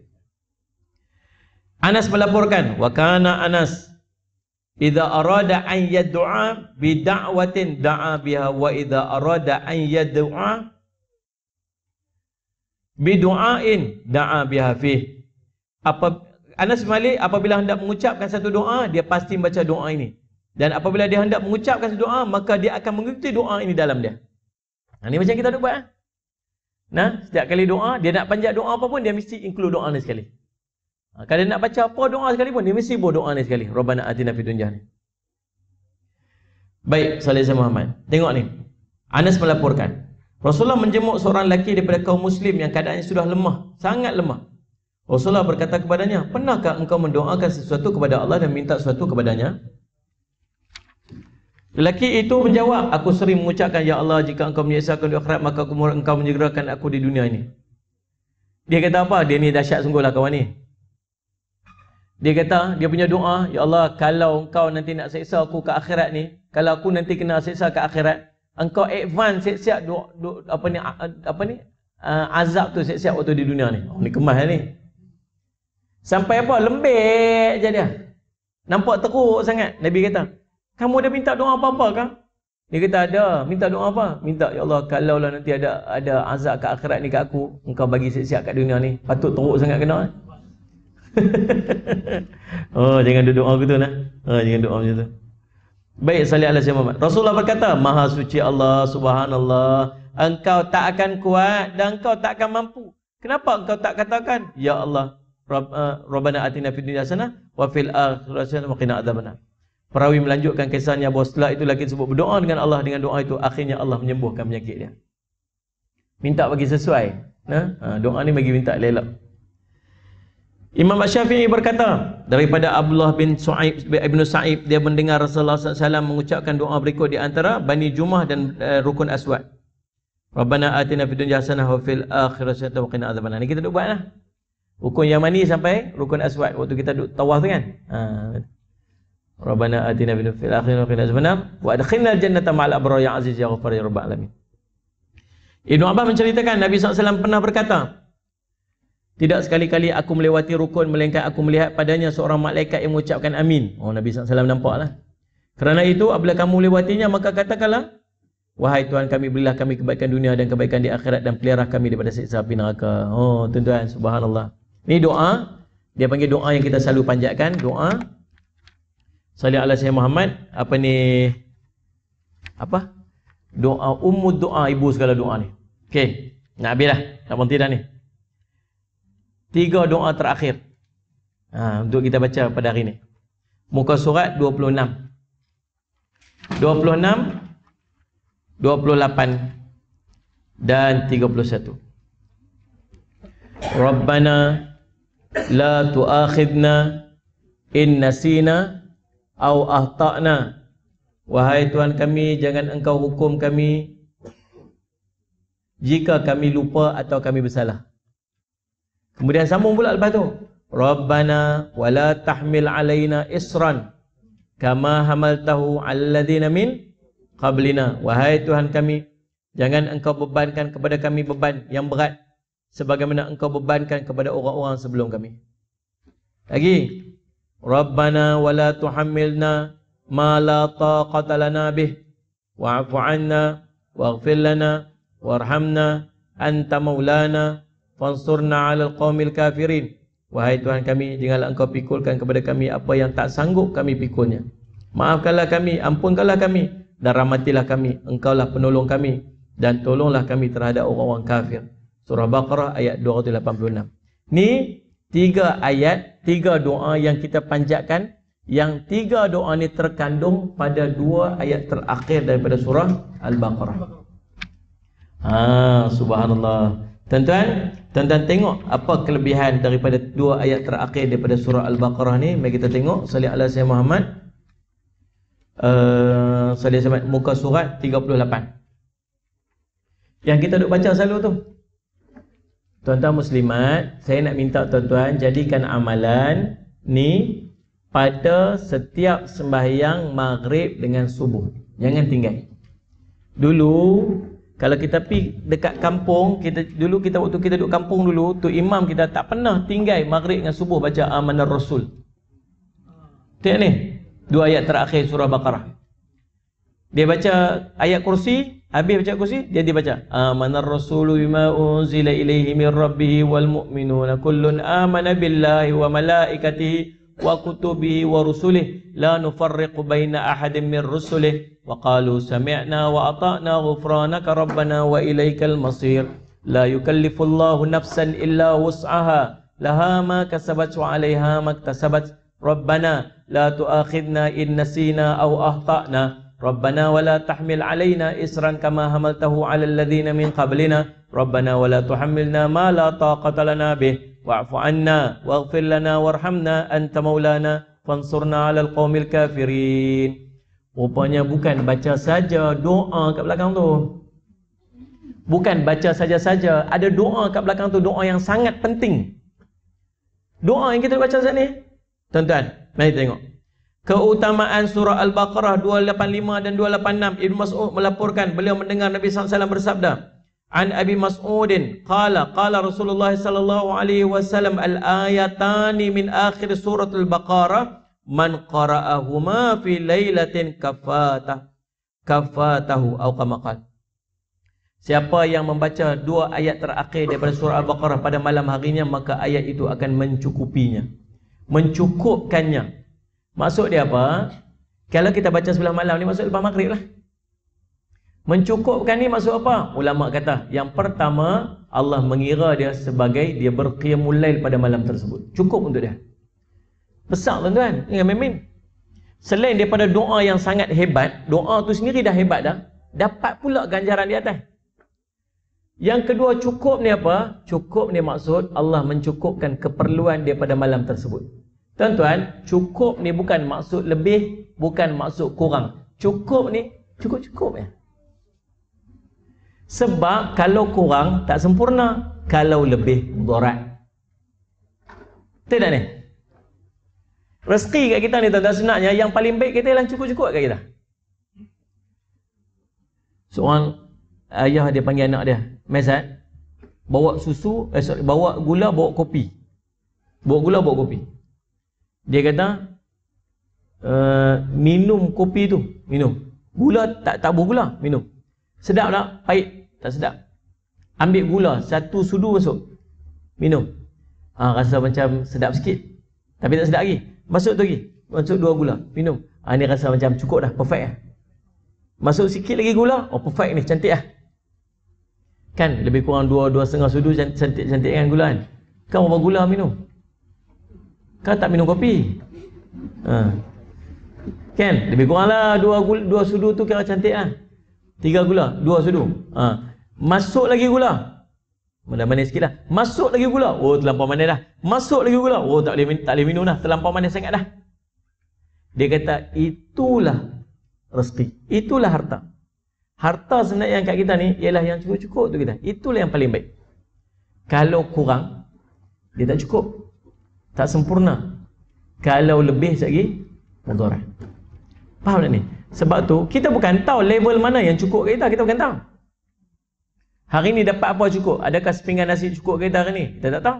Siapa yang tahu? Allah tahu. Nah salih selamat ni cuaca hujan turunkah? Hujan tak turunkah? Level mana yang betul-betul cukup-cukup je kat kita? Kalau turun lebih oh hujan sampai banjir dah mudarat. Kalau langsung tak turun hujan dah kering kontang dah jadi mudarat Betul tak ni? Cukup-cukup je. Siapa yang tahu cukup-cukup kat kita ni? Siapa yang tahu? Allah tahu. Maka kita minta ke Allah bagi kat kita yang cukup-cukup aja. Tapi rasa-rasa rajin tak nak doa ke Allah yang tu. Ya Allah bagi aku cukup-cukup dah lah. Ada itu? Tak ada lah. Dia doa ya Allah kurniakanlah rezeki yang melimpah ruah kat aku. Ha, tu kita minta lah. Tapi sebenarnya yang paling baik kita ialah yang cukup kita. Betul? Nabi SAW kata apa? Allah berfirman, qala Allah azza wa jal Ya ibni Adam, wahai anak Adam, irka'li min awwalin nahar arba'an. Rokoklah kepadaku pada awal siangnya dengan empat rakaat.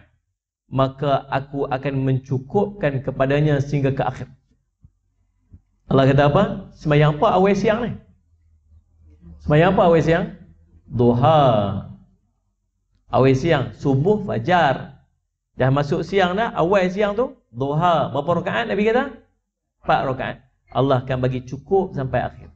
Jadi untuk bahagian siang nak Allah bagi rezeki kita cukup aja sembahyang duha empat rakaat. Bahagian malam nak bagi Allah cukup kat kita baca dua ayat terakhir surah Baqarah. Apa dia? Nak tanya kah?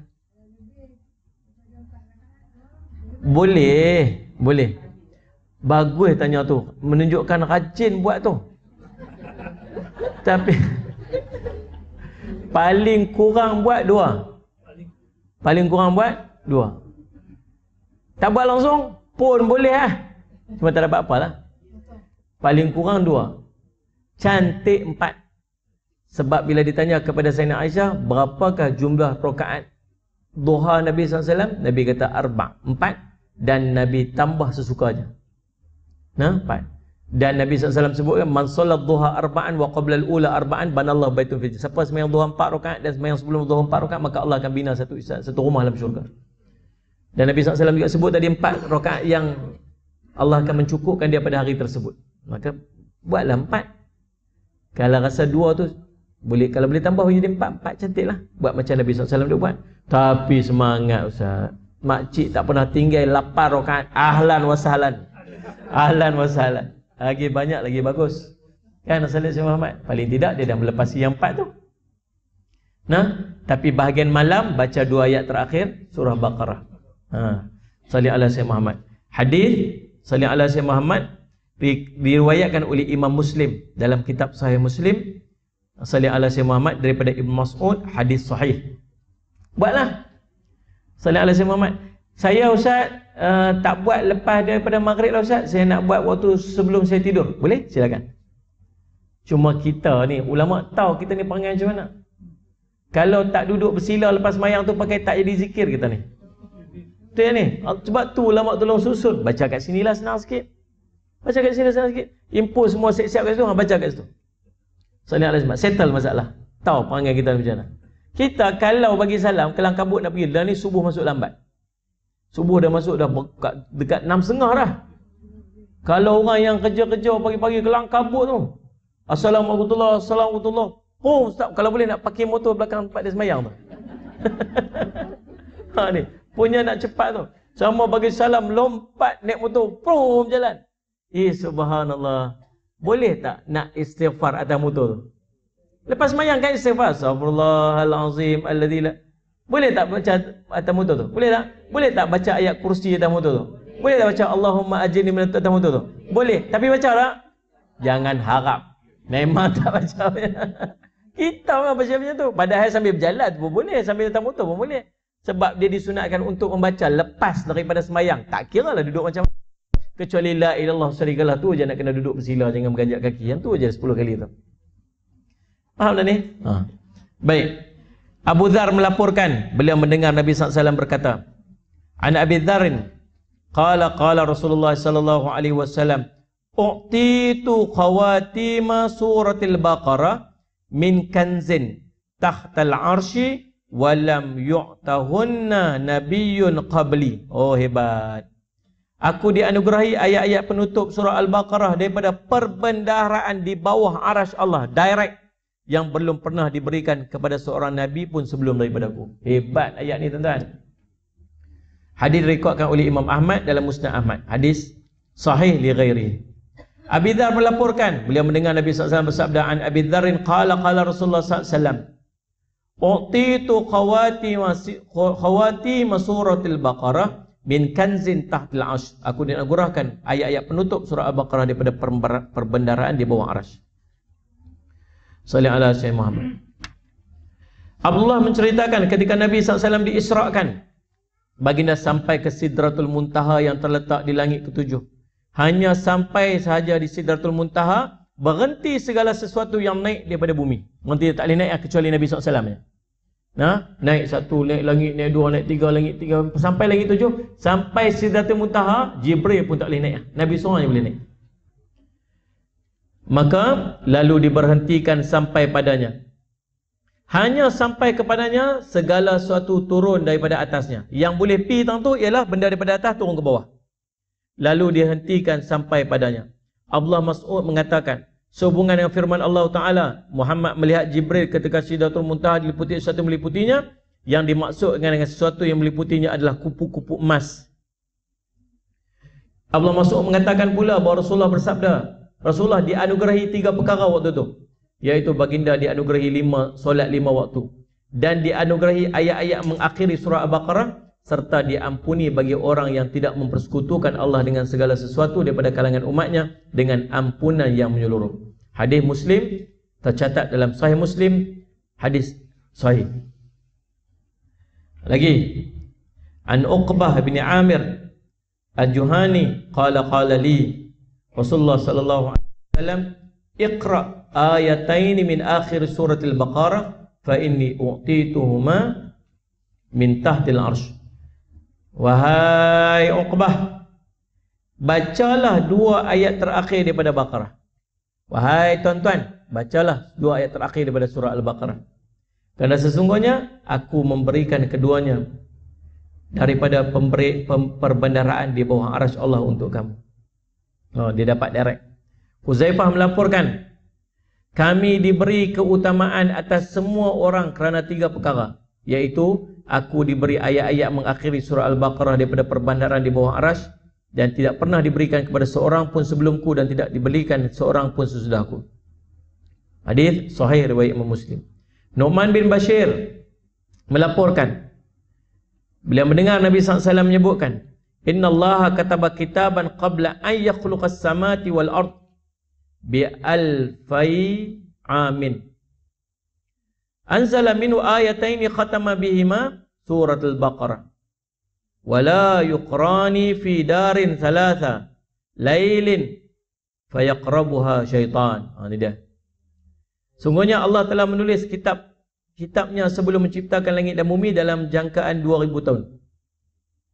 Dia menurunkan dua ayat darinya untuk mengakhiri surah Baqarah dengan keduanya.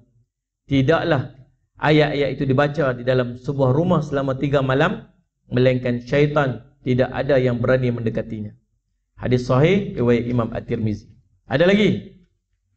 Rasulullah apabila membaca ayat terakhir daripada surah Al-Baqarah dan ayat kursi maka baginda tersenyum lalu baginda berkata Sesungguhnya kedua ayat ini berasal daripada pembaharan Tuhan yang maha pemurah di bawah arash Apabila baginda membacakan firmannya barang siapa yang mengerjakan kejahatan saya akan diberikan balasan kejahatannya itu dan bahawa seorang manusia tidak memperoleh selain daripada apa yang diusahakannya maka bahawa usahanya itu kelak akan diperlihatkan kepadanya kemudian akan diberi balasan kepada dengan balasan yang paling sempurna maka baginda pun membaca istirja' dan dia tenang. Ibnu Abbas melaporkan bahawa ketika Nabi SAW sedang menghadapi malaikat Jibril, tiba-tiba baginda mendengar suara gemerincingan di atasnya. Suara gemerincing ni kalau nak turun wahyu pada Nabi SAW. Maka malaikat Jibril mengarahkan pandangannya ke langit. Lalu berkata, inilah sebuah pintu langit dibuka. Yang sebelumnya tidak pernah dibuka sama sekali. Kemudian turunlah daripada seorang malaikat. Dan malaikat itu mendatangi Nabi lalu berkata kepadanya, bergembiralah kamu dengan dua cahaya yang diberikan kepadamu yang tidak pernah diberikan kepada seorang Nabi pun sebelummu. Iaitu Fatihatul Kitab. Apa dia? Surah? Surah Fatihah. Dan ayat terakhir daripada surah Al-Baqarah. Tidak sekali-kali kamu membaca satu huruf daripada keduanya, melainkan engkau akan diberinya. Hadis Imam An-Nasai dalam kitab Sahih Nasai dan status hadisnya dan uh, saya uh, sahih. Baik, nah tu tuan-tuan kelebihan-kelebihan daripada surah dua ayat terakhir daripada surah Al-Baqarah Amanur Rasul tu. Jadi, jadikan dia amalan pada setiap malam. Kita baca lepas subuh uh, waktu semayang tu. Uh, lepas pada zikir semayang tu dan kita baca pada waktu maghrib. Tuan-tuan, selebihnya ada banyak-banyak doa lagi yang tuan-tuan boleh baca sendiri. InsyaAllah dan saya harap uh, dia menjadi manfaat pada tuan-tuan lah buku-buku ni insyaAllah saya buka 5 minit untuk soalan silakan ya salam kata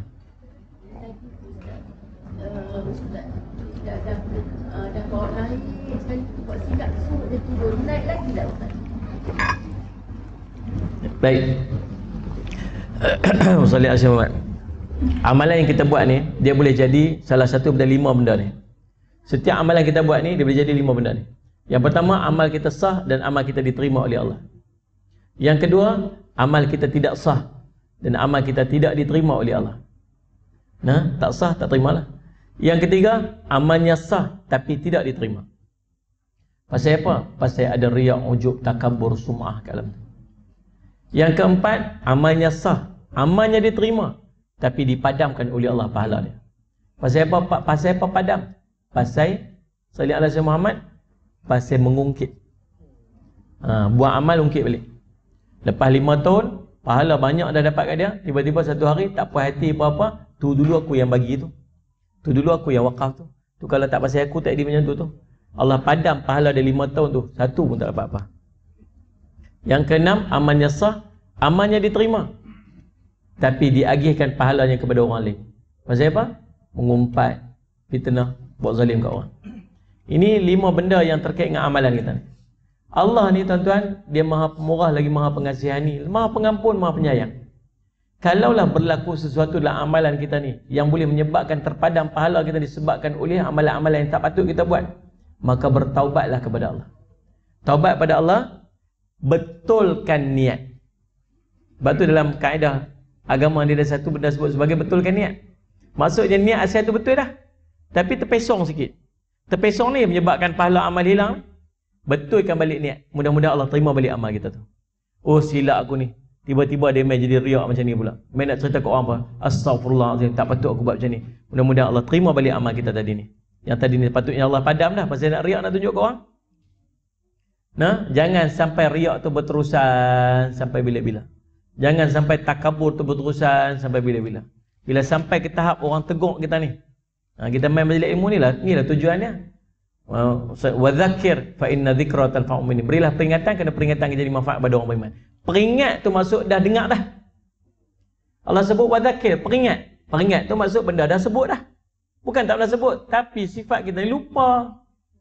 Waktu tegur tu mula, yalah kena kat aku ni. Lepas tu, dah berapa lama tak dengar kuliah, dah melelong balik. Lepas tu dengar pula, ha kena pula lah aku ni. Kan? Ustaz ni kerja mengata kat orang je nama dia. Baiklah, hmm. Tuan-tuan, bila dapat teguran tu maksud Allah sayang kat kita maka betulkan balik niat kita tu. Mudah-mudahan Allah terima amal kita. Boleh tak nak? Allahu a'lam. Okey, ada soalan lagi tak? Tak ada lah, nak balik ah. Nak balik semua dah? Ah, insya-Allah. Tuan-tuan, ya kak. Hmm.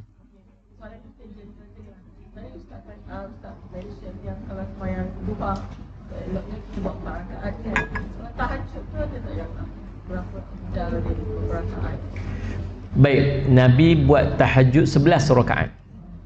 Bukan tahajud maksudnya sembahyang-sembahyang Nabi buat SAW dalam dalam qiyam mulai dari sebelah rakaat. Termasuk semua jenis sembahyang dan termasuk witir. Kita nak buat macam mana? Kita ni buatlah yang pertama mungkin dua rakaat tahajud lepas tu dua rakaat taubat dua rakaat hajat dan tutup dengan tiga rakaat witir boleh ni Ha, kalau tuan-tuan nak susunan ni, tuan-tuan ada buku saya tu nama Amalan Mengangkat Darjat. Dalam tu saya susun, saya siap dah. Apa amalan-amalan nak buat. Bangun kemulan nak buat apa. Waktu duha nak buat apa. Saya susun, saya, saya buat jadual siap-siap dah. Mudah untuk tuan-tuan follow. Saya pernah saya pernah syarahkan buku ni dekat sini hari tu kalau tak salah saya. Okay. Tu tuan-tuan boleh dapatkan kat luar sana. Yang tu mudah untuk kita buat susunan apa ni amalan yang sesuai. Sekali dengan fadilat-fadilat dia. Pasal apa nak kena buat dua rakaat? Pasal apa nak kena buat empat rakaat? Apa sebagainya? Saya buat jadual siap-siap. Mudah untuk tuan-tuan ikut. Nama buku tu amalan mengangkat darjat. Kita boleh dapatkan kat situ insya-Allah. Wallahu a'lam. Okey, ada soalan lagi? Boleh witir satu, sekurang-kurang satu tapi jangan diamalkan satu tu saja. Sebab satu tu mudah kena buat turun dah. Dulu banyak satu-satu kat dinding-dinding semua benda turun dah. Tuan-tuan, satu saja ni makruh hukum dia.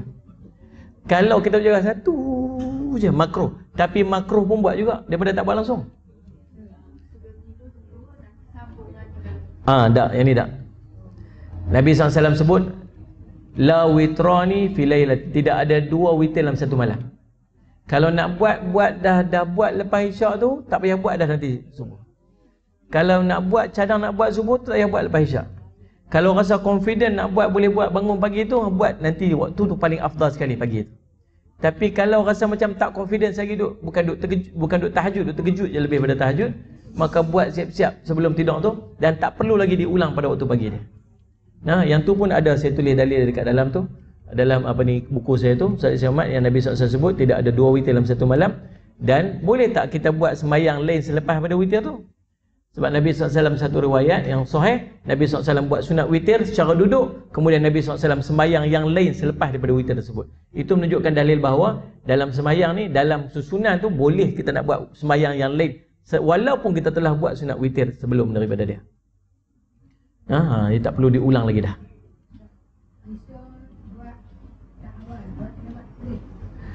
isyak sunat untuk melewatkan isyak tapi jangan sampai masuk 2 per 3 malam tapi sunat yang dia mana? sunat dengan diisi dengan ibadah tengok drama tengok suamiku encik sotong apa tak payahlah itu memang mengarut lah. Ha ni, tengok apa semua. Isi ingat ibadat. Kita duduk buat kuliah kan. Kadang-kadang buat forum lah apa habis sampai pukul apa? Pukul 10 kadang-kadang. 10 setengah baru nak semayang isyak. Tak apa. Sunat untuk dilewatkan berdalilkan kepada perbuatan Nabi SAW. Ada salat umat sahabat-sahabat yang menunggu Nabi SAW untuk semayang isyak bersama dengan isteri dan anak-anak dia. Yang perempuan dengan anak terlena-terlena dah tunggu Nabi SAW. Saya para sahabat panggil Nabi SAW untuk semayang. Maksud nunggu tu terlalu lama untuk Nabi SAW untuk bersemayang bersama dengan Nabi SAW semayang isyak di masjid Nabi SAW. Maka boleh tak dilewatkan? Boleh. Tapi jangan sampai masuk 2 per 3 daripada daripada uh, malam. Maksudnya lepas lepas pukul 12 lebih onwards tu dah. Tak boleh dah. Bukan tak boleh, boleh lah. Uh, Ustaz Syamad. Tapi kalau sunat lewat tapi jangan terlalu lewat. Berbeza dengan semayang-semayang yang lain. Sunat di semayang pada waktu pada waktu masuk waktu tu tu yang paling baik untuk dia. Beza dengan semayang isyak. Boleh lah? Ha, okay.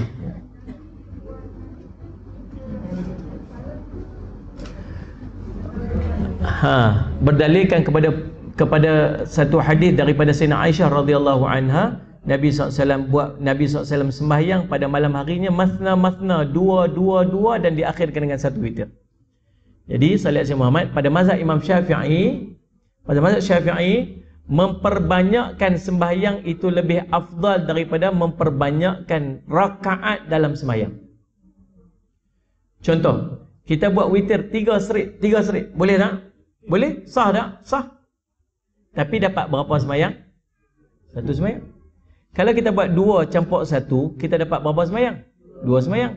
Tuan-tuan pergi semayang dekat majlis haram. Satu pahala semayang. Satu semayang. Berapa kali ganda?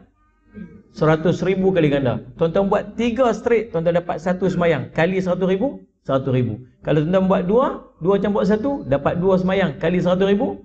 Dua ratus ribu. Faham tak ni? Jadi sebab tu Imam Syafi'i menegaskan memperbanyakkan sembahyang itu lebih afdal daripada memperbanyakkan rakaat dalam sembahyang. Sama juga sembahyang-sembahyang lain, qabliyah zuhur, qabliyah ba'diyah zuhur empat rakaat. Boleh tak buat empat rakaat straight? Boleh. Tapi afdal buat dua-dua.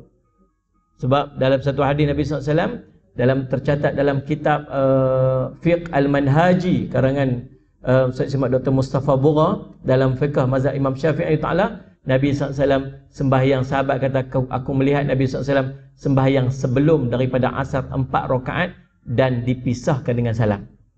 Nabi SAW sembahyang empat tapi Nabi pisah dengan salam maksud Nabi buat dua-dua. Ha, jadi buatlah amalan sembahyang kita ni yang lebih pada dua rakaat, lebih pada dua rakaat buat dua-dua-dua tutup dengan satu rakaat. Boleh nak? Wallahu subhanahu taala a'lam. Syukur sekadar tu tuan-tuan. InsyaAllah kita jumpa lagi di lain masa dan ketika insyaAllah Mudah-mudahan jadi manfaat Dan uh, dekat sana.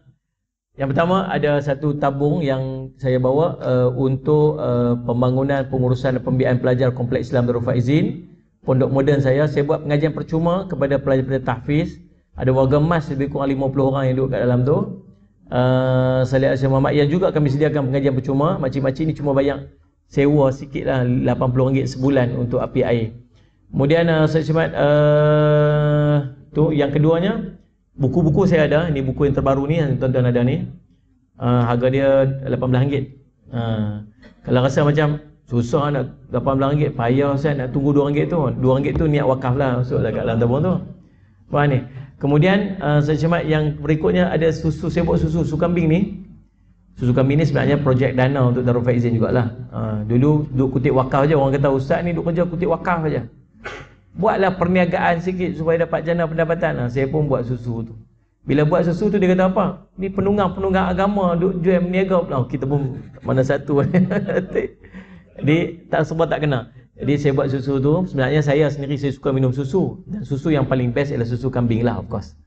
Susu kambing ni bukan semua orang boleh minum. Sebab kadang-kadang dia bau hamis.